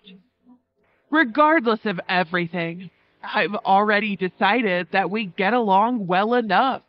If everything goes well, we could be getting married next year and starting a family shortly after. Caitlin was already planning out her future. Emma's surprise over Caitlin's complete dismissal of Luis multiplied. Fine, try it. But if he shows any red flags, get out. Caitlin sighed at Emma's worry before taking it to heart and begrudgingly agreeing with her. Okay. By the way, what's up with Mr. Roy? Eric isn't just going to let it slide, Emma replied nonchalantly. Only in front of Caitlin could she act casually. Don't worry about us. Just focus on yourself. Don't settle.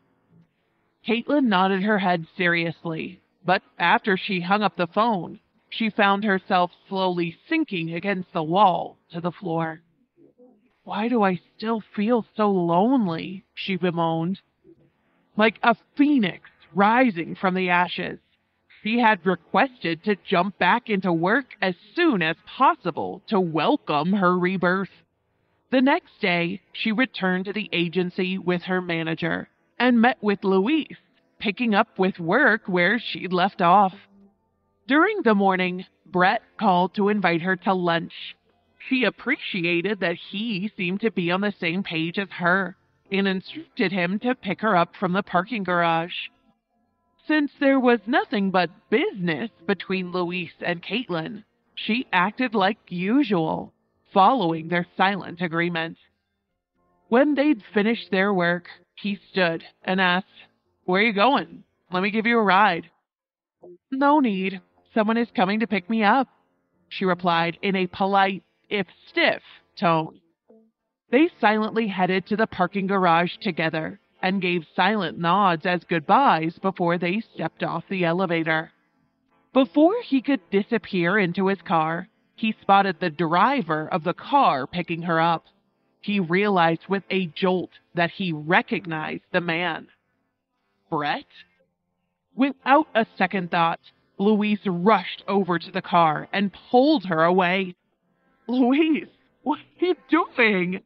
She shrieked, surprised by the sudden jerk of her arm. Just trust me, he growled, leading her back to his car. She was so surprised by his behavior that she followed him, and they ignored Brett's loud protests from his own car. Once they made their way out of the garage, she turned to him, absolutely seething, and demanded an explanation. His expression was dark, and he remained silent as he pulled into an empty lot. Once he'd calmed down enough to speak, he said, How do you know Brett? Surprised that he knew Brett as well, Her curiosity overtook her anger. An old classmate introduced us, she replied. Well, they must be a crappy friend because they deliberately tricked you. He deadpanned. Did you not look him up? He's married. Married? She squeaked. You're trying to date a married man. He rubbed his brow in frustration. When will you get better taste in men? he asked rhetorically. Her face burned with embarrassment. At least I'm not two faced like you, she blurted out angrily. His expression became impassive, and she realized she'd gone too far. She quickly shut her mouth and glared out of the window. Finally, he caved first and restarted the car. Let me take you home.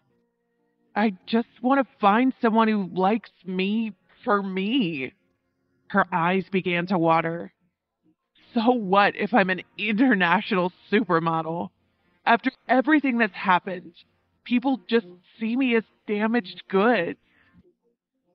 Just because you see yourself as damaged goods doesn't mean everyone else does too, he said quietly. Her subconscious screamed that she was about to go too far again, but she ignored it. Well, if you were me, would you want you? When faced with the potential for love, she lost all common sense. No matter how many times she learned a lesson, it seemed she would never learn from her mistakes.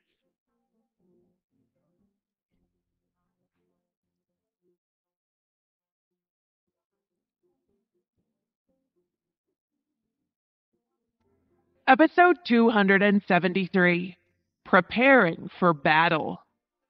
Luis wasn't deterred by Caitlin's off putting question. He glanced at her as long as he could while driving and answered flatly No one wants someone who doesn't believe in themselves. Nothing seems to shake him.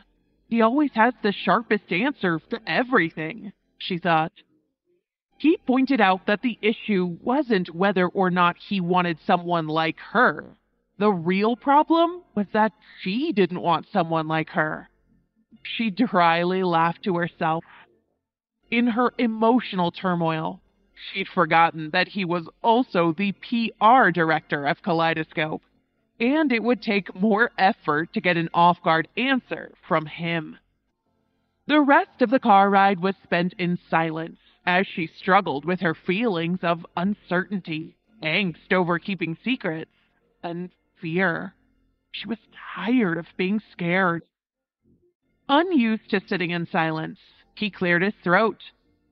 You're home. She looked up and realized they had, in fact, arrived. Thanks for the ride.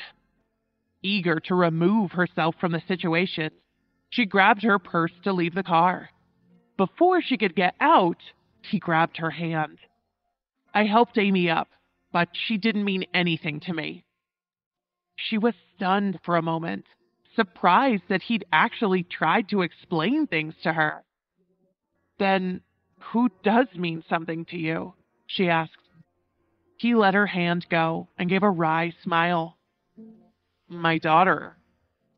Caitlin huffed as she got out of the car ignoring his laugh behind her as he drove away from her apartment building. While her anger wasn't completely subdued, it had dimmed slightly in the face of his explanation. She was also tired of walking on eggshells around him.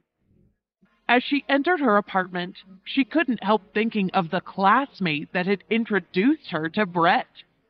Did she really do that on purpose? Caitlin wondered. What an awful person if she did. Regardless of the intentions of others, she firmly decided to keep the details of her date turned kidnapping to herself. Whenever Emma's work schedule was free, she liked to handpick Eric's clothes for the day. Particularly, she enjoyed how he stood mostly naked in front of the bedroom mirror as she brought him one outfit after another. It prevented him from starting his day for half an hour, but he couldn't resist anything that would make his wife happy. I have something to do tonight, and then I'll head directly to the dinner afterward. Luke will pick you up so we can meet at the entrance and go in together. He told her as she carefully buttoned up his shirt. She nodded absent-mindedly. Her mind had wandered to the cause of the dinner, and she began scheming of ways to contradict the narrative Henry was trying to spin.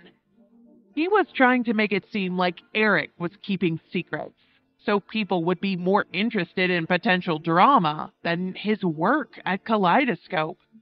It frustrated her that people were forgetting how accomplished and capable her husband was. When Eric saw the look on her face, he immediately knew what she was thinking. He had suffered through watching people ridicule his lover many times. It always made his stomach churn and his blood boil from the anger that brewed.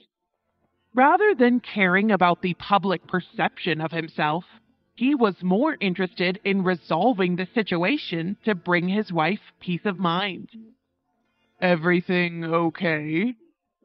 She nodded again before reaching on her tiptoes to gently bite his shoulder. This was a secret gesture between the couple, while it didn't express whether she was happy or sad, the action was a reminder of their connection. When one was pained, they both were. He simply pulled Emma into his embrace and placed a kiss on her forehead before putting on his jacket. He left their home, satisfied with the time they had spent together that morning. She stood by the window watching until his car pulled away. When she placed her hand above her heart, she found it fluttering wildly like a hummingbird's wings. How does he still make my heart race like this? She wondered. It's like we're still newlyweds. Spotting the magazine with Henry's shameless, smug face brought out a small frown. The striking twins on either side of him would be her rivals that night and although she knew they were not her professional equals, she still felt the burn of competitiveness.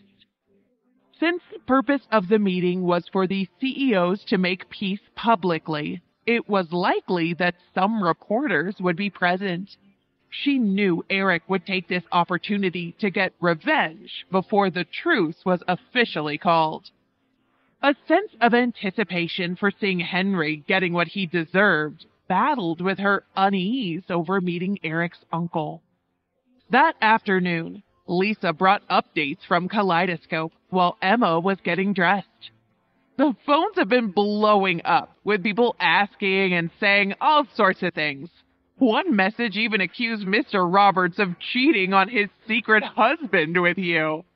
The mess Henry's caused. She pulled on her hair in frustration. We already know he's a jerk. We shouldn't be bothered by it. It'll be over soon. Lisa was confused by how calm Emma was, and finally noticed her smoothing her dress while she looked in the mirror. Lisa's jaw dropped in awe. Emma, this is different than what you usually wear, but wow, you look gorgeous. The dress was more modest and refined than the dresses she usually wore to events. Typically, her dresses were flashy and displayed some of the latest fashions. The dress she had selected for dinner was a long sleeved and flowed like water across her body. Emma continued to anxiously smooth and adjust the dress. Do I look too proper? Lisa nodded in approval. Since you'll be meeting family tonight, your outfit is just right. They'll appreciate how elegant you look. Will it seem too deliberate since this isn't what I normally wear? Emma continued to worry out loud. You weren't even this nervous when you appeared on the runway of a top brand, Lisa teased. They locked eyes in the reflection of the mirror, and Lisa smiled. You look perfect. Snow floated lazily from the sky outside of the high end venue the families had booked for the night. Everyone had arrived on time except for Eric, who was aiming for fashionably late. Eric's uncle John quickly explained away his nephew's behavior. There must be a lot of traffic because of the snow. Otherwise, he wouldn't be so late. Henry's father, Patrick, gave an amused smile. It happens. I don't mind waiting a little. The flirtatious twin models had not accompanied Henry that night, so he stood to the side, alone and sullen. He's late on purpose to make me squirm. I know it, he griped silently. Near the banquet hall, apart from the families, there was also a swarm of reporters at the entrance, recording every inch of the extravagant venue they could see while they waited for their real subject of interest. Although he had impure motives for setting off the rumor, part of Henry believed there could have been some truth to what he had said. He's in his 30s, and I've never seen him with a woman. Maybe he's really in the closet because of our parents, he mused. At quarter past seven, Emma arrived at the venue, dressed in a long black coat. As if it had been his intention all along, Eric arrived simultaneously and moved to his beloved wife's side as soon as he saw her. She delicately wrapped her arm around his offered one, trying to steel her nerves. He leaned down and whispered in her ear, Don't be nervous.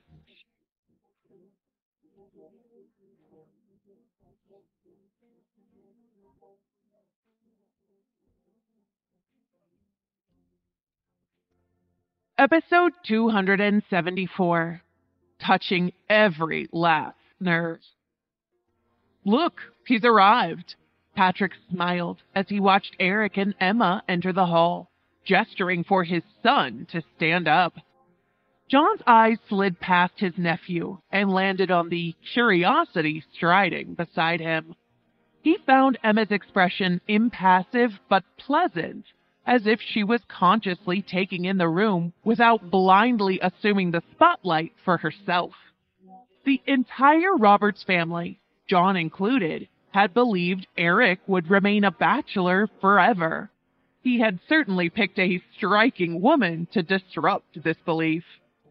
Is the inside as good as the outside? John wondered shrewdly. Come, sit. Were you stuck in traffic? he asked, gesturing to the chairs next to him. He had expected Eric to graciously accept the provided excuse. Instead, Eric remained silent as he pulled out a chair for Emma and helped her sit. Once he finally sat, he replied calmly, There wasn't any traffic. The expressions across the group shifted at his rudeness. Emma read the room and glanced back at Eric, trying to understand what he was doing. She noticed his small smirk and realized it was an opportunity for her to intervene. I'm so sorry. I was actually the one stuck in traffic, and he was too polite to let me come in alone. Thank you for being so patient. She gave a sweet smile to emphasize her gratefulness. Regardless of the truthfulness of her statement, John's demeanor warmed with approval at Emma's action. He respected her initiative to defend her date and charm the group. Below the table, Eric rubbed the back of her hand with his thumb a few times before burying it inside his palm. He was impressed at how quickly Emma had understood his motives and moved to make a good impression. Patrick was equally charmed by her and gave a good natured wave of his hand. It's no big deal. He pointed at Emma and said to John, I know exactly who this young lady is. She's in the news quite a bit. On the surface, Patrick seemed to be praising Emma's popularity and fame. However, it was also a warning that Eric had not just brought a pretty face to dinner. John turned to his nephew, eyebrows raised in surprise. You know about this? Of course. Good. John completely trusted Eric's judgment.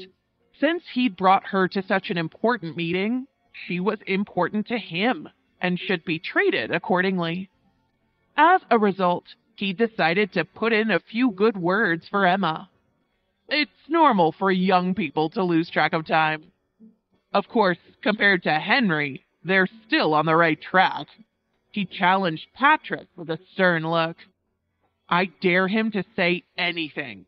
His son goes through a dozen women every week, John grumbled internally.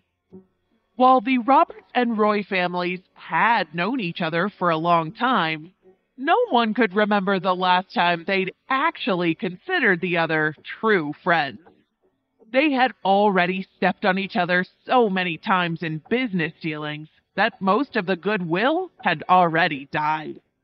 Patrick was rendered temporarily speechless by John. He shook off the comment and returned to the main topic. I really feel bad that Henry couldn't keep his mouth shut and created trouble for Eric. Mr. Roy, do you think everything would be forgiven just because you said you feel bad? Eric asked, looking almost amused. If it isn't true, just go prove yourself to the media. What kind of man goes and tattles to my father? Henry snapped in an embittered tone. He had no intention to apologize, and Eric wasn't expecting it. Shut your mouth, Patrick roared at his son. Be useful for more than talking to women for once. It seems Mr. Roy has his objections, so how will this be settled? Eric looked at the father and son expectantly. John, on the other hand, enjoyed watching the show play out. Let's compete so you can prove to me that you are a real man. Henry squinted critically at Eric. Let's do it then, he replied swiftly. Henry didn't know that Eric had fully expected the conflict to come to a petty competition. It wasn't the first time their families had been drawn to blows. What shall we compete in? Henry asked begrudgingly. It unnerved him how prepared Eric seemed. We have everything we need here, so let's compete one round at a time. I'll even let you decide on the challenge. If you win just one of the five rounds, I'll consider you the winner. The bar for winning is only one win? Emma thought with alarm. How will Henry ever recover from losing five times? Henry's face turned red as he stood from his seat. Since we are men, we should speak with our fists. For the first round, let's box. You asked for it. Eric gave a tight smile. A word of warning, though. I plan to let the media in. John pointed to the reporters, whose cameras were furiously clicking. He thought this might deter Eric, but his nephew shrugged it off and said, Up to you. Eric pulled Emma up with him and told the group, I'll see you in ten minutes. I'm going to go get ready. If you're getting ready, then why are you. John trailed off, his eyes flickering to Emma. Eric's expression remained composed as he lifted a single brow. I need her. He promptly turned around and guided Emma out of the room. Prior to the meeting, he had arranged for a temporary boxing stadium to be set up in the venue's other ballroom. He left the rest of their group to their own devices while he prepared. John rubbed his withered forehead in exasperation. He hadn't realized his nephew had a sentimental side to him. Henry's eyes followed the couple before he eventually left to get ready as well. Shall we follow? John asked Patrick. We shall. Patrick found himself curious about how his son compared to others and hoped he wouldn't end the night disappointed. Not long after, the reporters were led into the boxing stadium to become the audience for the fight. They began gossiping as they waited for the event to begin. The only reason Kaleidoscope's being so open today is because they want to clear up the rumors, right?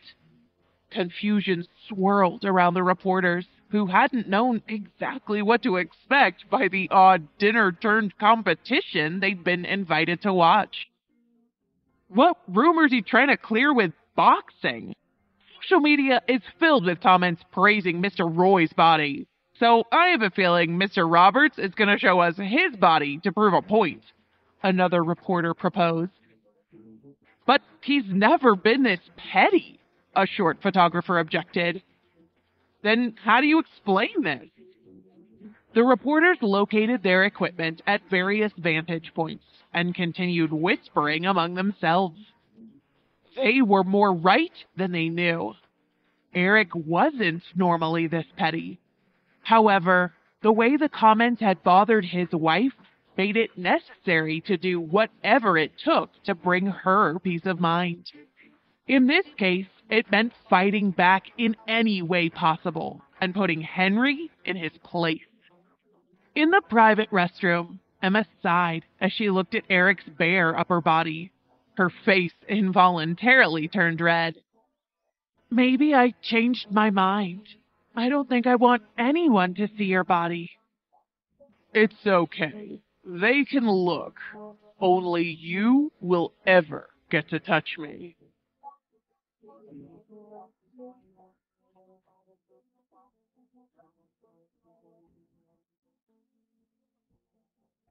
Episode 275 Float like a butterfly, sting like a bee. Boxing was an athletic sport as well as an art form. It required muscle strength, psychological tenacity, and physical endurance. A standard boxing match required five rounds, each round lasting two minutes, until one of the competitors was knocked out for 10 seconds. The one left standing was the winner. Eric wasn't in the mood to endure multiple rounds with Henry, so the two men agreed to just one round. While Eric was still in the change room, Henry swiftly wrapped his hand in bandages and put on his boxing gloves. Professional boxers usually didn't wear helmets or armor, so they wouldn't either. He stepped out wearing just a pair of athletic shorts, since he hadn't brought appropriate footwear to the meeting. Henry had toned arms and legs, and the rest of his muscles were well sculpted. He was definitely stronger than the average man. However, he was the pretty boy his fans loved to call him with flawless skin that made it clear all his muscles were gained from the comfort of an at home gym. Regardless, he received a roaring applause as he stepped into the ring. Afterwards, he performed some warm up exercises, enjoying being the center of attention. His family members often suspected that if he wasn't the heir to Star King, he would have found some other way to be famous. He always wanted more attention than an average person would ever experience. John and Patrick were seated in the front row of the foldable chairs. With a disgruntled frown, Patrick thought, This brat. At least he hasn't entirely neglected his body while he makes a fool of himself in the tabloids. Meanwhile, John sat with his arms crossed, deep in thought. As far as he was aware, Eric hadn't thrown a punch in nearly a decade. Even back then, one punch was all he needed to finish the match. He definitely wasn't as young as he used to be, and likely not nearly as fit. Why hasn't Mr. Roberts appeared yet? A reporter asked loudly, as if expecting one of the family members to answer. To be honest, Mr. Roy's body is quite good. Another one swooned. He's rich and pretty, and I have a feeling he can throw a punch, a quiet photographer mused. The commentary behind Patrick made him swell with pride. Star King had struggled against Kaleidoscope for years, and if his son managed to physically beat Eric, it would bring him some satisfaction. Clearly, none of you actually exercise. You have no idea what in shape actually is. The first reporter began laughing. As if to prove his point, His biceps flexed as he adjusted the hold on his camera. I don't know. I've never seen Mr. Roberts work out much. Doubt filled several faces. Another snorted. He lives in Tribeca. Do you really think he goes to a public gym?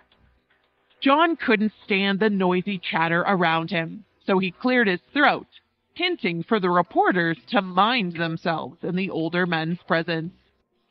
After feeling his uncle's impatience, Eric and Emma stepped through the entrance of the room. Originally, with the glare of the hallway light behind them, their faces couldn't be seen clearly. As soon as the reporters were able to make them out, they started rapidly talking, taking notes, and snapping photos. A few even stood up subconsciously, scanning his body in wide eyed disbelief, as if blinking would make them miss a crucial moment. Normally hidden behind a suit, his muscles roiled powerfully with every movement.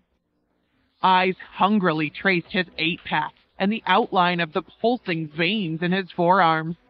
The sweat from his worn up made his tan skin shine as if he'd been glazed with honey. In a day. several of the reporters seemed to forget the cameras in their hands, which their peers quickly tried to snap them out of. Hurry up! Take some photos! I didn't know bodies could be that perfect outside of a magazine, one reporter exclaimed. A reporter who had previously defended Eric snorted and said, Mr. Roy looks frail compared to Mr. Roberts. He's not even going to be able to handle one punch.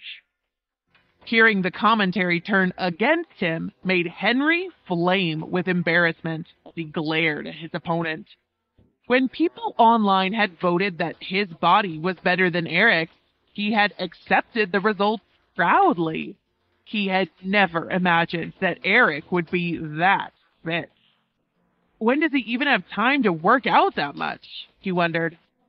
Henry glanced down at himself and for the first time considered how painful being on the receiving end of Eric's punch could be. Emma followed behind her husband, his coat hanging from her arm. She never hesitated in her confidence in Eric and was ready to see Henry eat his trashy words.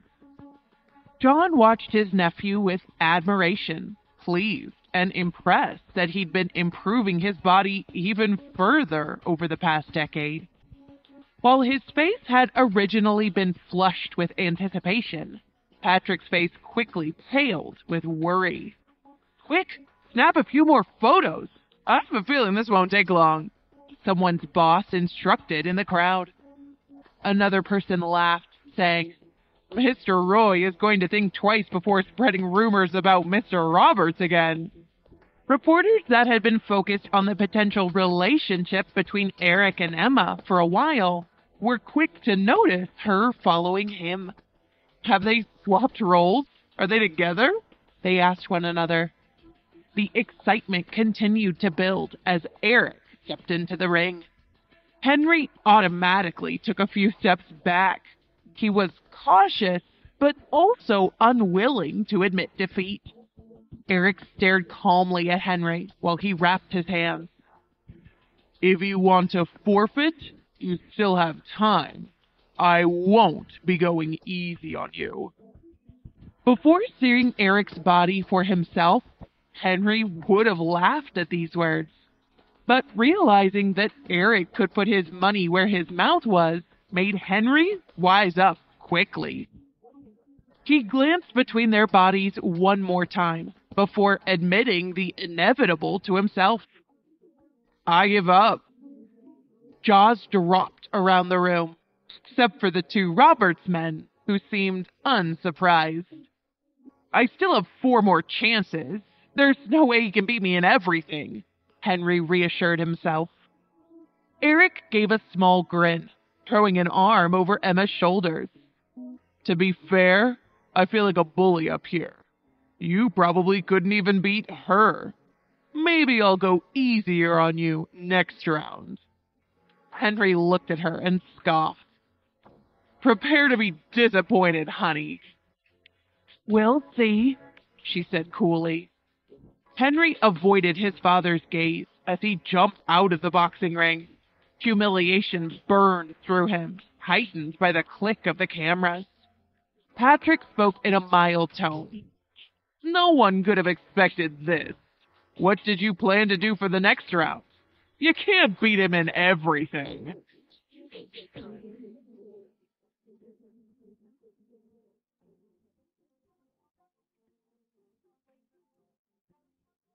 Episode 276 A High Stakes Bet.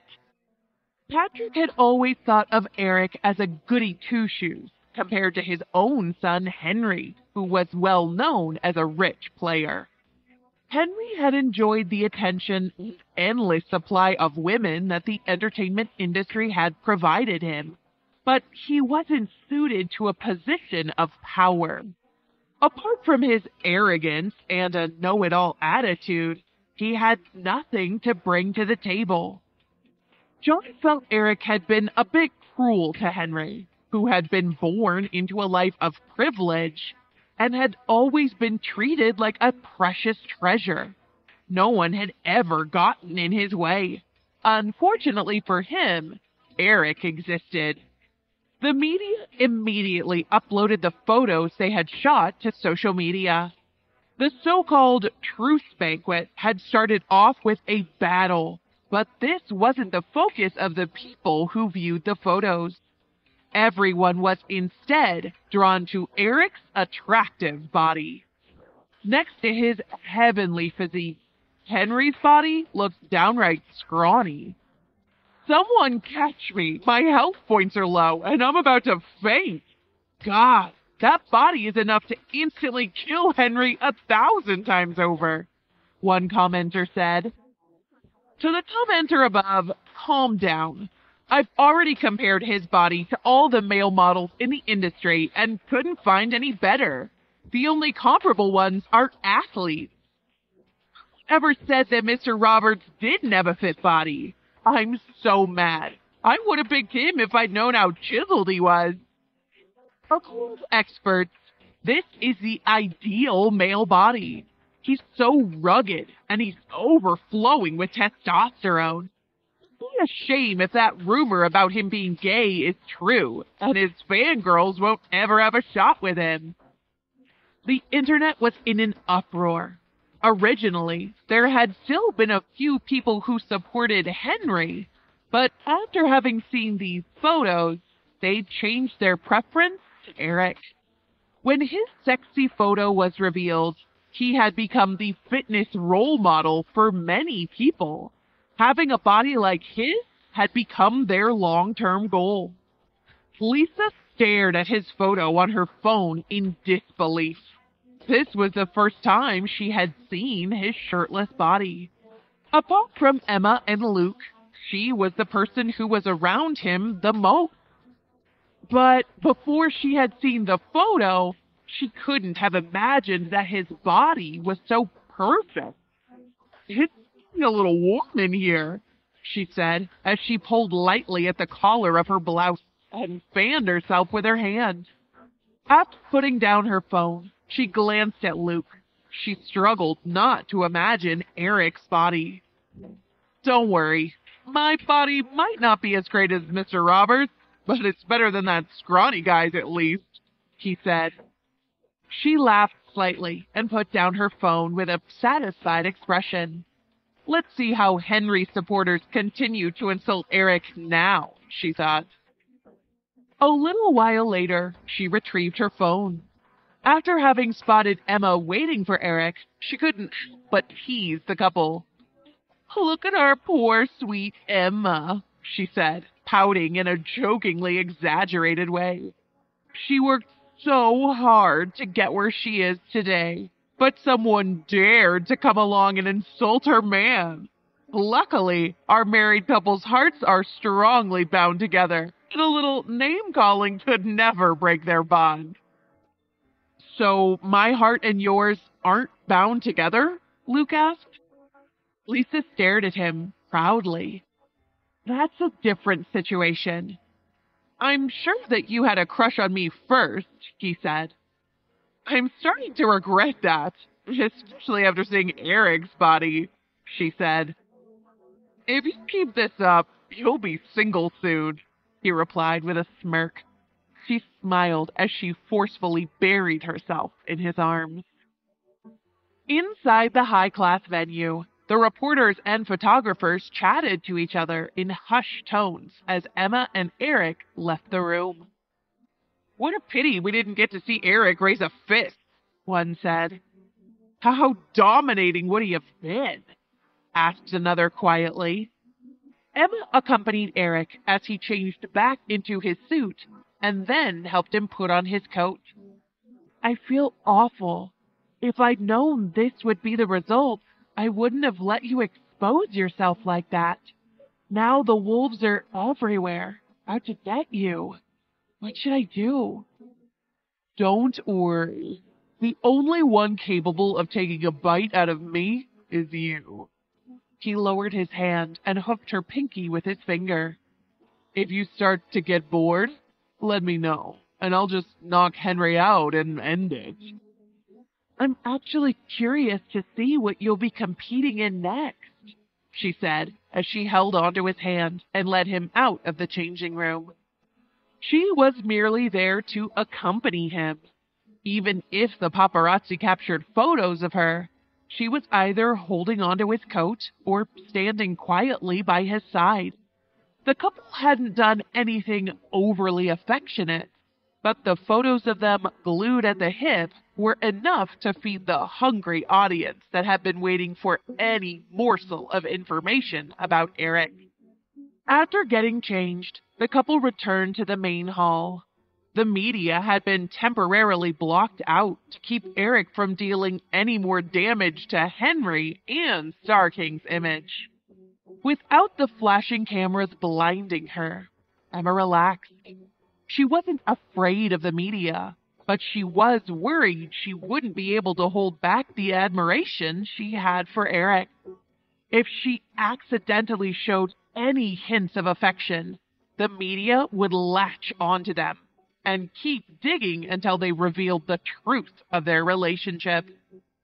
The more she'd gotten to know him, the harder it had been for her to control her adoration. She couldn't resist him. She was love struck and there was no cure.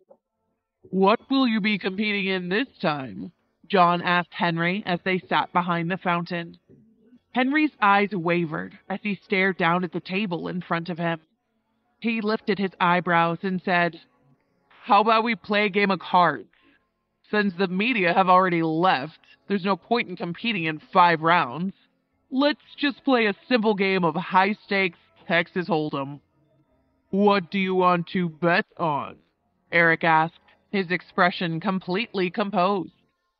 Henry quickly glanced at him and stood up. He then looked at Emma, who was sitting beside Eric, and said, I want to bet on her. If you lose, the model goes to me.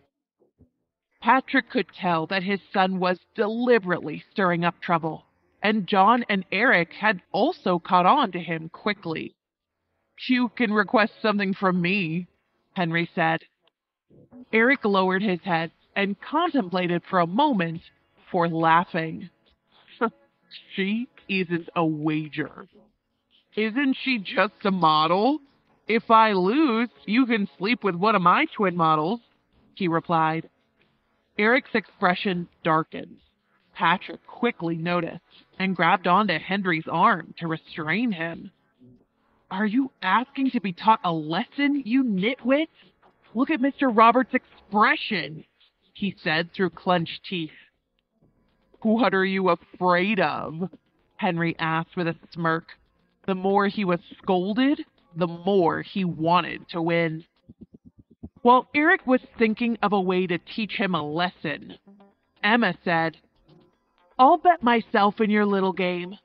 But if you lose, you'll need to announce on all the biggest media channels that you're a reckless jerk. Patrick's face flushed red. Just as he was about to step in and say something, Henry stood up happily. Okay, then it's set, he said. But I don't pick on women, so you can team up with Eric. You're practically family, after all. Henry had thought that Eric didn't know how to play poker and was bursting with confidence. Eric glanced at Emma.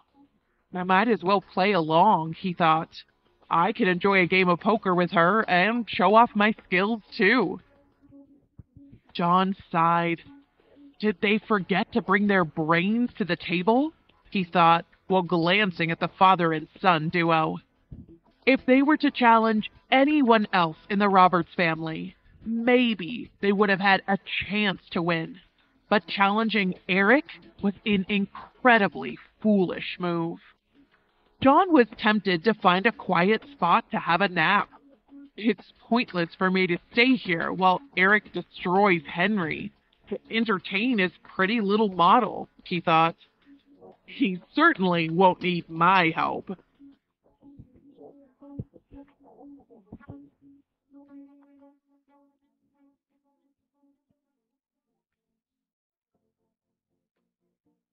Episode 277 Poker Face. After Henry and Patrick had left, Eric turned around and looked at Emma. You agreed so quickly. Aren't you afraid of losing? he asked with a doting but concerned voice. I know how to play Texas Hold'em, she replied. With me here, you won't even need to make a move. Are you sure you can beat this spoiled rich kid? Playing around is his specialty, he said. You won't let me lose, she said as she lowered her head and took a deep breath. Don't ask me why I know how to play. It's all in the past. I just want to put up a fight for you. Will you let me do that? She asked as she playfully tugged on his sleeve. He tilted his head, looked at her dainty right hand, and laughed. How could I say no? But what if I lose? she asked.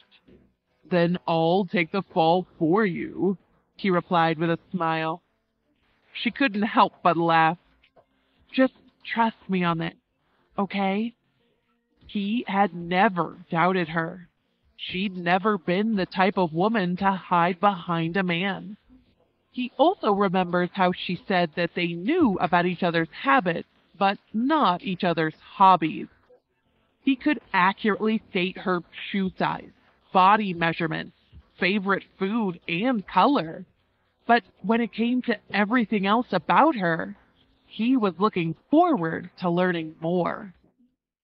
I have to trust you because my Texas Hold'em skills aren't great, he said. Liar, she replied with a smirk. His lips curved into a charming smile as he led her into the entertainment hall. Henry had been eagerly preparing for his incoming match at the poker table. Texas Hold'em was one of his specialties, and he was excited to show off.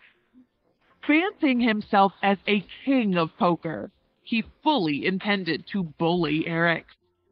I might not be able to beat him in a fist fight, but I'll surely make a fool out of him here, he thought as he chuckled softly.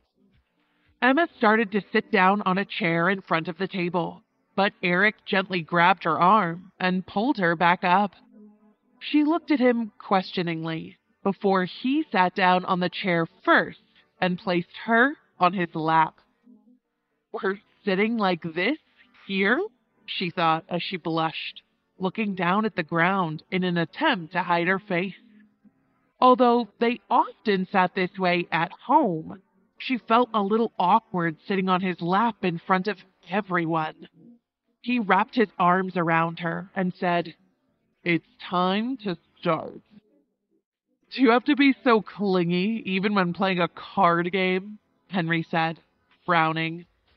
Are you afraid that you won't be able to hug her anymore when you leave? Let me warn you in advance. We're only playing one round. He sneered before telling the dealer to get started. In Texas Hold'em, each player gets two cards face down and can then pick from five shared face up cards over three stages, the dealer explained. At the end of the round, the person who holds the best five cards after combining the cards in their hand with the three cards from the shared cards wins. A straight flush is the best combination, followed by four of a kind and then a normal flush. Any questions? He looked at Eric, Emma, and Henry, and they shook their heads. Henry had encountered women at the poker table before, but he'd never seen a woman win. Little lady is far too brave, he thought. The dealer started to deal out the cards. Emma received an ace of spades and a jack of hearts, while Henry held a pair of tens. His hand wasn't great, but it also wasn't bad. Since the wager had already been made, there was no point in deciding whether to bet or fold, so Henry instructed the dealer to deal the first three shared cards. A king of spades, a three of diamonds, and a ten of hearts lay face up on the table in front of them. With their hands at the time, Emma had a high chance of getting a straight, while Henry already had a triple. At the poker table, luck wasn't the only important thing. Psychological warfare was also a significant part of the game.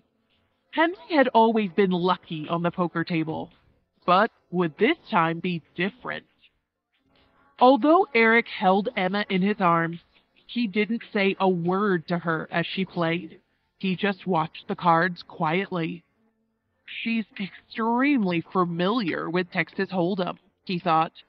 She must have played this with Nathan in the past. Jealousy started to gnaw away at him.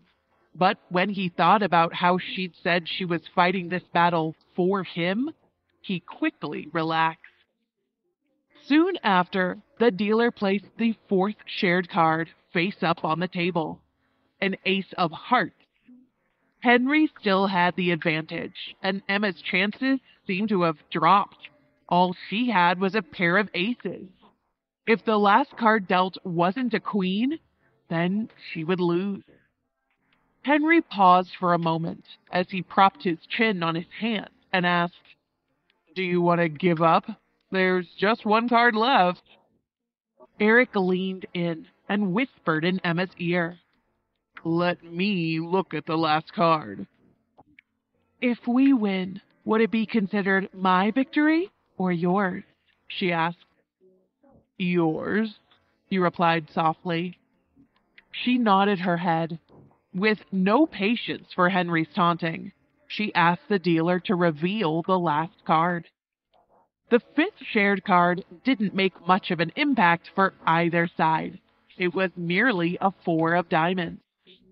Anxiety started to wash over her as the time came to reveal their hands. Her chance of winning had seemed to be high, but without hesitation, Henry flipped over his hand to reveal he had triple tens.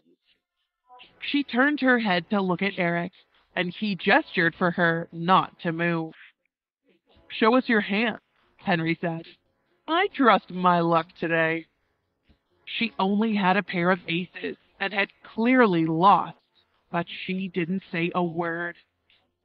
You should admit it if you've lost, he said in a gloating tone. I'm sure Eric isn't a sore loser, right? Seeing their reaction, he assumed that they had lost, and he couldn't help but cheer. It seems like I'll get to enjoy your little model tonight. What a pity. Those three words Eric stated so confidently felt like consecutive slaps to Henry's face as Eric flipped over the cards in front of him. The two cards had turned into a queen and a jack. Emma was sure that she held two aces in her hand, but also understood how one ace had turned into a queen. A straight is bigger than a triple. We win, she said with a smirk. Henry looked in disbelief at the straight before him. His face contorted into a grimace. He plopped down on his chair and punched the table in front of him. I hope you keep your promise. Remember to tell everyone you're a reckless jerk, Emma said. He stood up and threw back his chair while muttering under his breath before leaving with his father. After they'd left, the dealer said, That Mr. Roy is an experienced swindler. I know, Eric replied. How are you any better than he is after using a trick like that? Emma turned around and stared at him. Mr. Roberts only wanted to teach that jerk a lesson, the dealer interjected. If he'd really wanted to win, he could have had whatever card he wanted. Do you two know each other? She asked Eric as she pointed to the dealer. When I first took over Kaleidoscope Entertainment, I met all kinds of business partners. Back then, I wasted a lot of money on games like this. So, I decided to study them. I haven't really put what I've learned to use lately, but it's helpful to have these skills ready in case I need them, he said. It seems you've never had to experience yielding to someone else's control, she replied. Here I was declaring that I was going to fight for you, and look what happened in the end. She sighed. If he always studies things he doesn't understand when he encounters them, how many other skills has he been hiding? she thought. Even if I hadn't cheated, your cards would still have been better than Henry's, so you're still the winner, he said while gently smiling at her.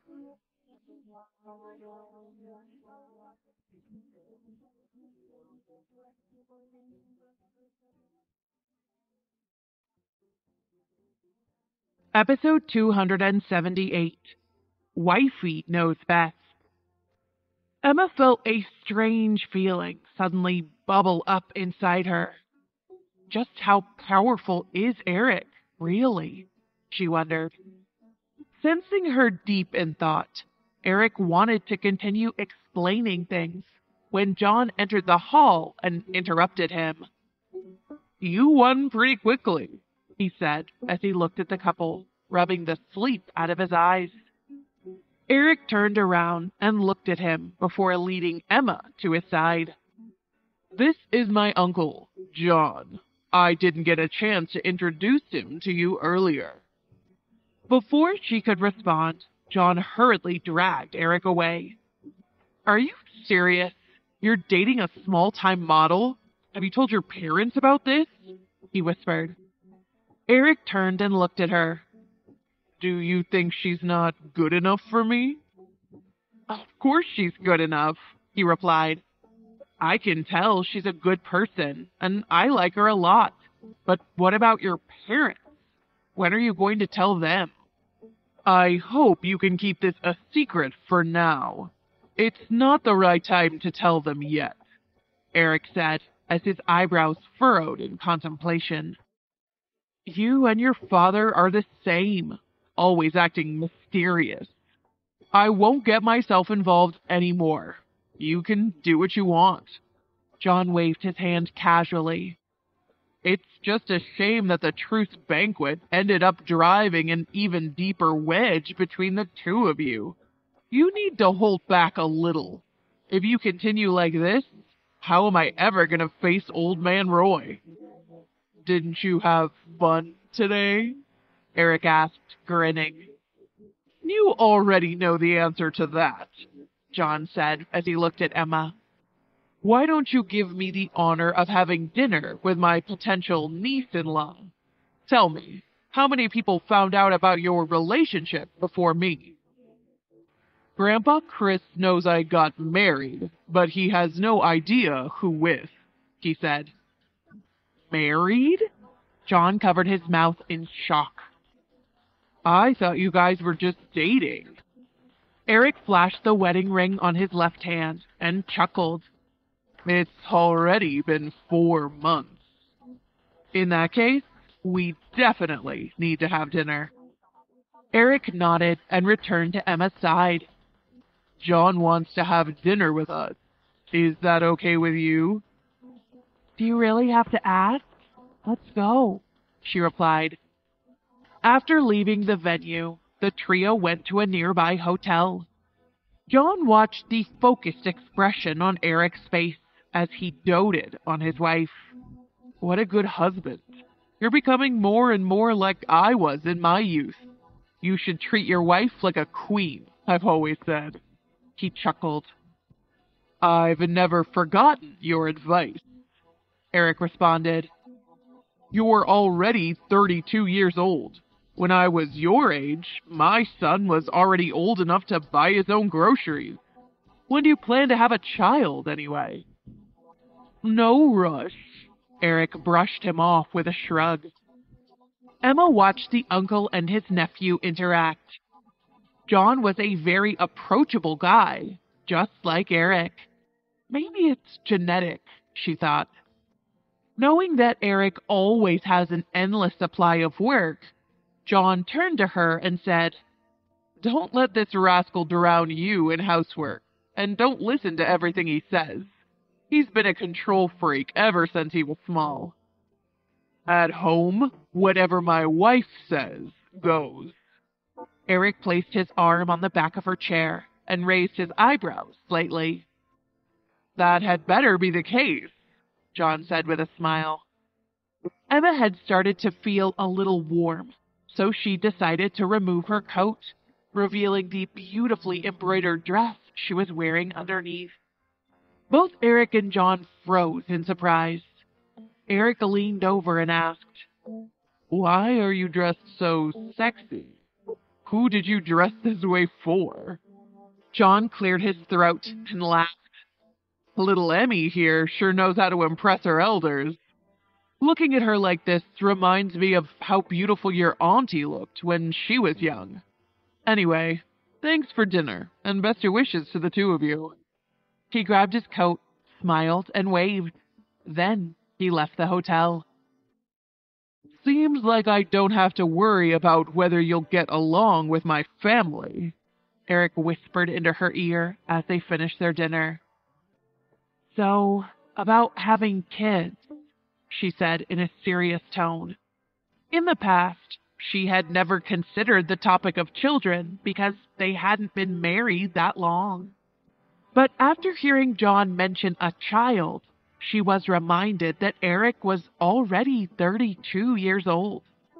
32 was indeed an appropriate age to have a child, but to do so, she would need to put the career she worked so hard to develop on the back burner. Let's talk about it when you want one. I'm in no rush, Eric said, leaning back in his chair with his hands behind his head. But, Emma said softly, clasping her hands together. Do I really need a kid right now? In the entertainment industry, plenty of people have children at 40, he said. As they headed home from the hotel, she lowered her head and contemplated. Is having a child totally out of the picture? I don't think it is, she thought. Once upon a time, she'd wanted to reach the pinnacle of the modeling industry to seek revenge against Nathan and Amber. Since then, her goals had changed, and she wanted to do whatever it took to be by Eric's side. She'd always believed that a woman should have her own career, but she also wanted a baby that looked like him. By the time you're 40, I'll be 33, she reminded him. He nodded. Then let's have one a little sooner than that. It's dangerous to become pregnant at an older age. I'm impressed that you know that, she said. He continued driving. As the traffic light turned red, he turned around and looked at her. After marrying you, I did some reading, he said. Married life is one of the things I wanted to learn about. I really regret not meeting you earlier, she replied with a wistful smile. If you'd met me earlier, Our relationship might have been unstable. I used to be an argumentative kid with a bad temper, wifey. He flashed a goofy grin. I really want to see that side of you, she said, squeezing his arm playfully. The next morning, Henry posted on social media that he had lost a bet, and his punishment was to admit that he was a reckless jerk. The majority of the media had found out that Eric had beaten Henry. In an instant, he became a joke in the industry. From what they'd heard, on top of giving up the boxing match, he still couldn't beat Eric in poker, even while cheating. This was only a small piece of the full story, but it proved one thing. No matter how much Star King struggled, they would never be able to escape Kaleidoscope's clutches. The internet buzzed with gossip about Eric, Henry, and Emma as the comments on Henry's posts and the media coverage rolled in. If anyone was to blame, it'd be Henry's big mouth. Mr. Roberts slapped him so fast. He's a man of action for sure. Dare Henry say our Mr. Roberts is gay? I bet he's just jealous that Mr. Roberts can drive any woman wild. If he's a ladies' man, judging by how he messes around with multiple women a day, he must be riddled with STDs. If not for Star King support, he couldn't even dream of being a celebrity. I don't care what you guys say. I just want to say I completely respect Mr. Roberts. Did you guys notice that Emma was in the photo too?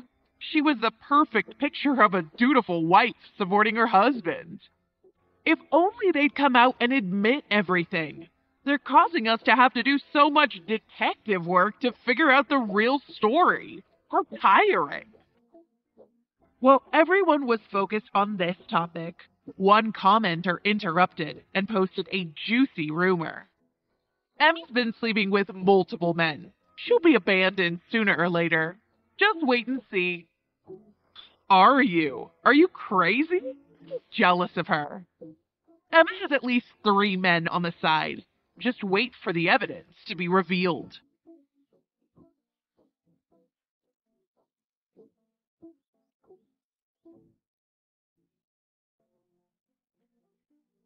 Episode 279 Persistent Paparazzi. If you can, show us some evidence, a commenter requested after reading the rumors circulating online that Emma had been sleeping with men other than Eric. The man who had originally started the rumor couldn't resist and posted a photo of Emma kissing Eric outside the manor in London. In the photo, her face wasn't in high definition, but her features could be clearly identified. As for Eric, because his back was facing the camera and his body was blocked by a car, it was impossible to tell he was the man in the photo. All that the gossiping commenters could see was that Emma was kissing a strange man in the photo. Comments quickly piled up, demanding more evidence of her scandalous actions. Just wait and see. There's more to be revealed, promised the original poster. Come on, show it to us. Oh, God really Emma? Can anyone dig up some useful information? Quick, take screenshots and save the picture. Don't let Kaleidoscope's PR get rid of the evidence.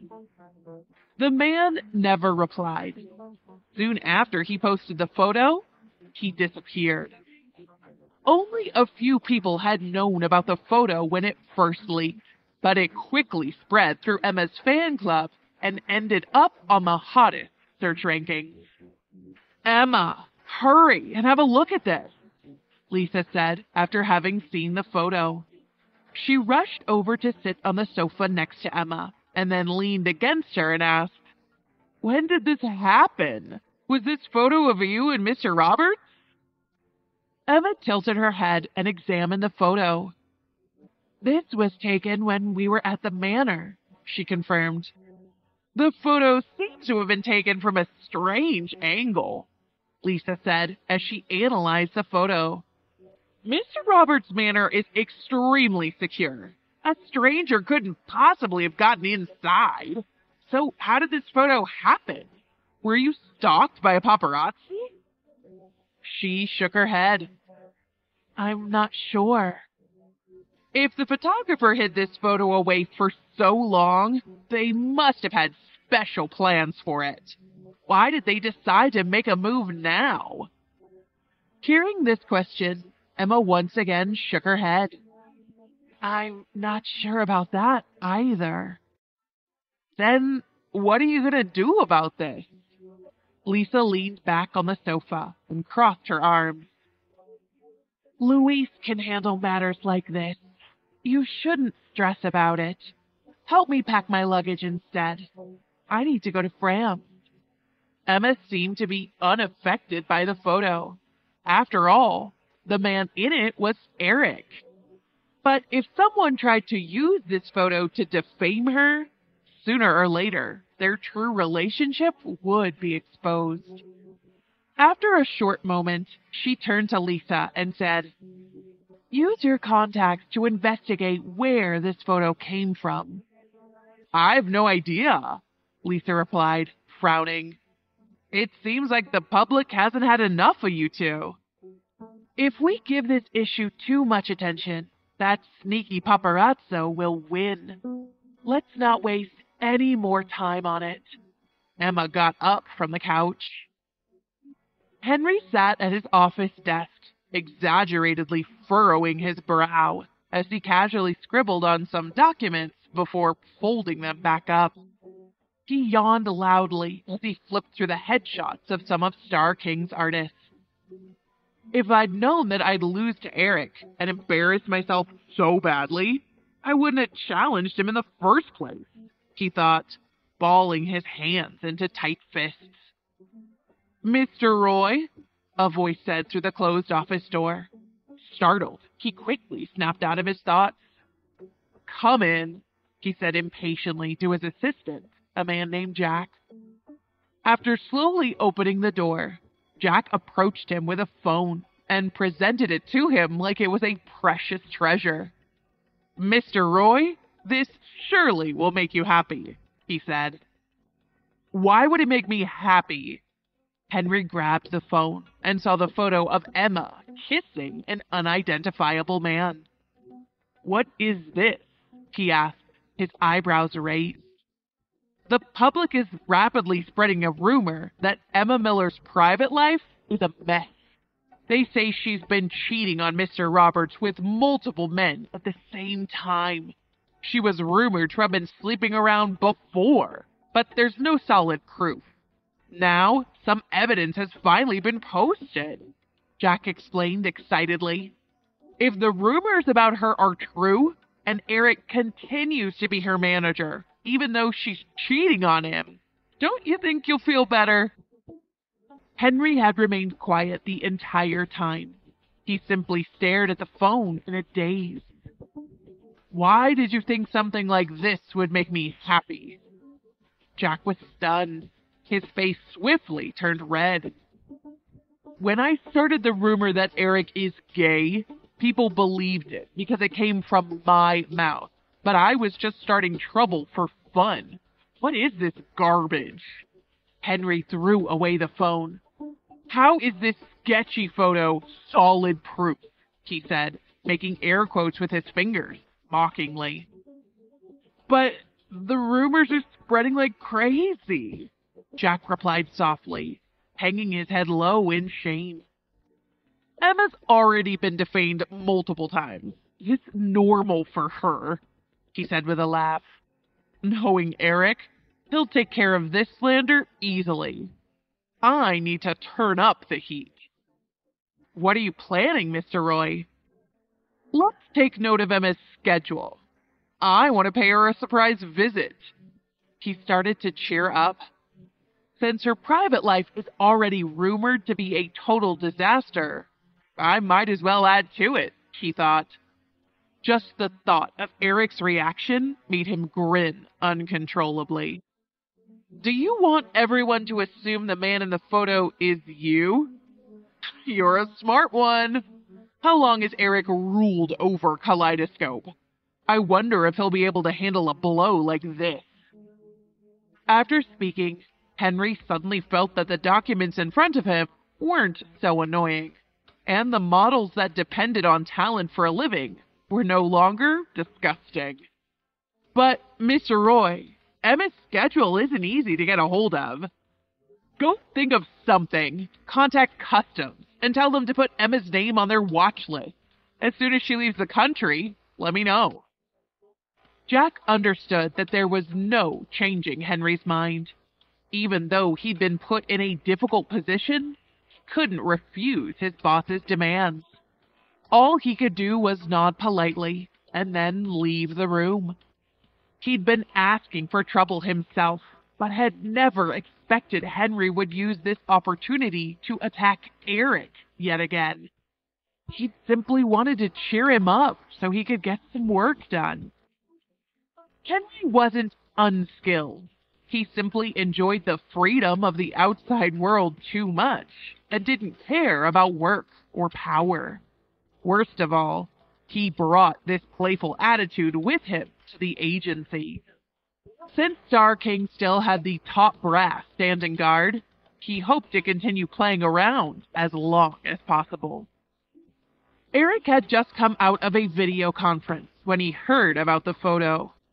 Luis entered Eric's office with the information he had gathered. He had not only the photo and accompanying news article, but also the IP of the person who had released the photo. He even had a few suspects already. After seeing the information, Eric's expression darkened. He put down the papers and pressed his fingers against the table. These suspects. Follow them and investigate them. I want to find out how they got that photo. I've already instructed my people to handle the matter, but by the time I receive the results, you and Emma will already be in France, Luis explained. Just help me find out who did it. Eric looked at the photo as he reminisced on the day of the kiss that it had captured. That was the day I had to return to New York, he thought. I had no idea such a gusty paparazzo was stalking us then. Most importantly, investigate her vision studio. He remembered that Emma had run into this photographer multiple times, a man named Kyle. Perhaps he's involved somehow, he thought. I've never heard of them before, Luis said as he thought carefully about how to approach this delicate situation.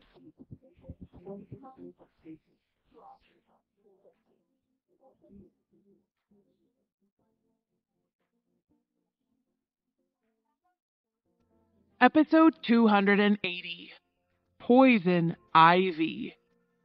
Kyle had wanted to use the photo of Emma's mysterious liaison to gain instant fame, so he kept it a secret until he could reveal everything at once. But he'd never expected that one of his staff would be so impulsive as to place her photo directly online without his permission. Inside the hidden office, he glared at the staff member that was shifting back and forth nervously in his chair and was tempted to chew him to pieces. I must be having a stroke of bad luck to have hired trash like you. If you were my cousin, I would have fired you on the spot. The man clutched his head as he trembled. He knew that the people at Kaleidoscope were trying to hunt him down after what he had done. Hurry, pack your bags. How long do you think it'll take for Kaleidoscope to find you? If they do, you're totally screwed. So you'd better not leave my sight. The staff member had acted on impulse and had just realized the consequences of his actions. He slowly stood up on his wobbly legs and headed back to his own office to pack his belongings. Meanwhile, Kyle had decided he would have to completely abandon the hidden office. If Eric finds out about this, I'm done for, he thought. Luis had never heard of Her Vision Studio before. Among the multiple media companies, they didn't even have a ranking.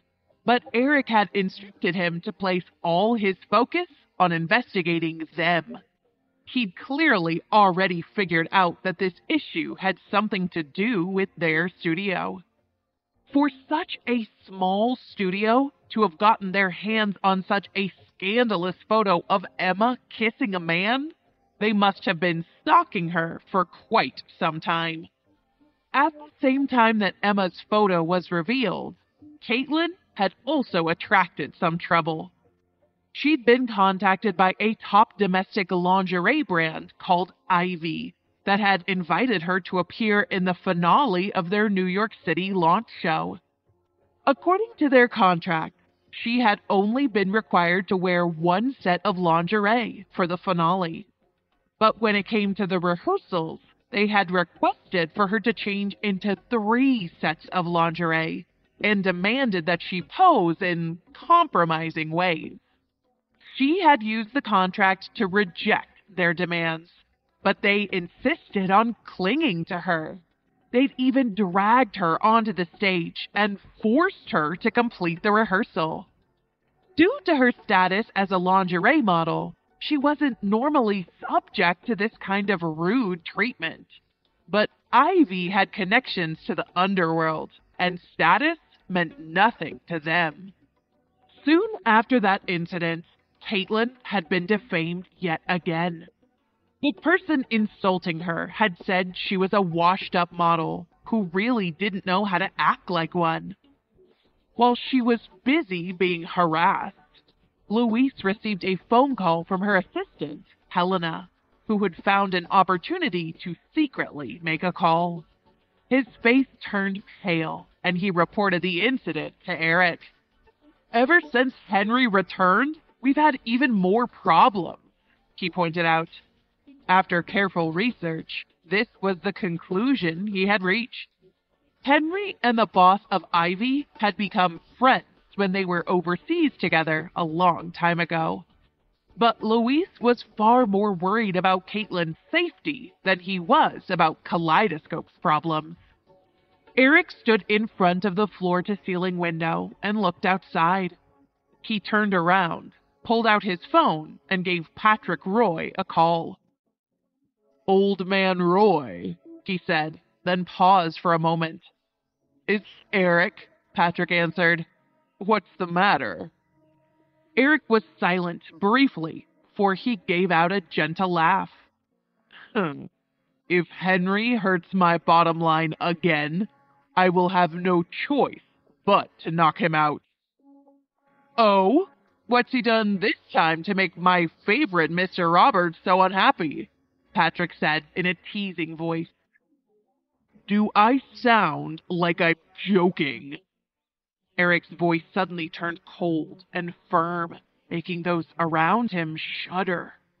After hearing his tone, Patrick realized he couldn't just brush him off. He restrained his voice to a whisper and said, I'll try my best to control him.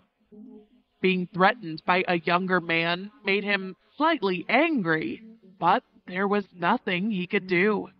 As he was often walking a fine line right under Kaleidoscope's nose, he had never dared to retaliate. Is there any reason you're warning Star King like this? Luis asked after Eric hung up the phone. I wasn't warning them. I was merely letting them know before I make a move. He returned to his office table. This afternoon, Emma and I will fly to France. Make sure to deal with the photo situation. Don't worry, the photo hasn't spread very far, Luis said. Just wait a couple of days. When other news breaks, everyone will forget about it. But I'll make good use of my time and find the source of the photo either way. You can count on me. He nodded and flashed a reassuring smile. But you're not planning on announcing your relationship with Emma? I promised her I would announce our marriage after six months. Unless I have to reveal it as a last resort, I want to try my best to keep my promise. When he'd finished speaking, he locked away some important documents before retrieving his car keys. But if someone wants to play games with me, I'm more than happy to play along, he continued. So what if I reveal our relationship? As for Ivy, if they insist on using their underworld background, then we should stoop to their level and use underworld methods to deal with them. Understood. The news of Kaleidoscope hunting down Her Vision Studio quickly spread throughout the entire industry. While tracking down Ivy's location, Luis received a phone call from his assistant notifying him that they had located Her Vision Studios' whereabouts. He immediately turned his car around and headed for the building where the studio was located. But by the time he had arrived, the studio was already empty. All that was left was some scrap paper with Her Vision's logo printed on it, sitting in the trash barrel. We just wanted to talk to their boss. Did they really have to treat us like we're a couple of thugs? Why'd they run away? Luis's assistant complained. When someone feels guilty, they'll naturally try to run away. They didn't want us to catch them because they knew what they'd done.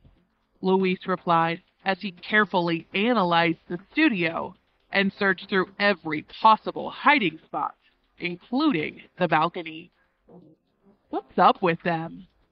they either colluded with someone shady or they have more dirt on Emma and are afraid Kaleidoscope will find it, he guessed.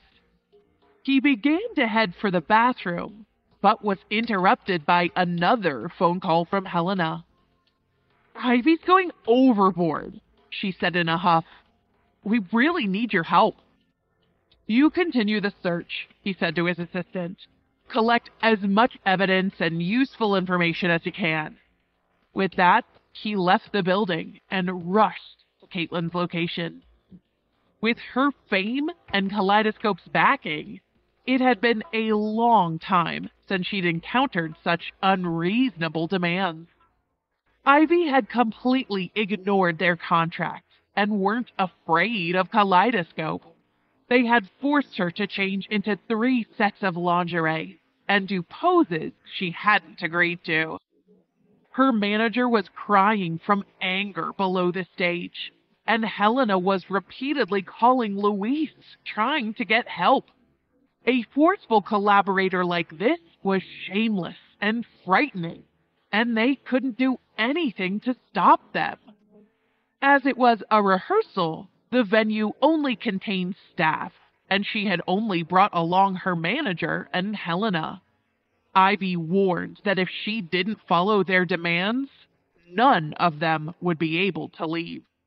She was afraid they would get violent, so she could only hold back her anger and follow their orders. After all, this wasn't the first time she had been humiliated. I can handle this, she thought while clenching her jaw. Caitlin, you're doing the wrong pose. Let's start again, the show director demanded. She stood blankly on the stage when suddenly Luis burst through the front door of the venue, followed by a line of eight bodyguards. Am I late? he asked with a smirk.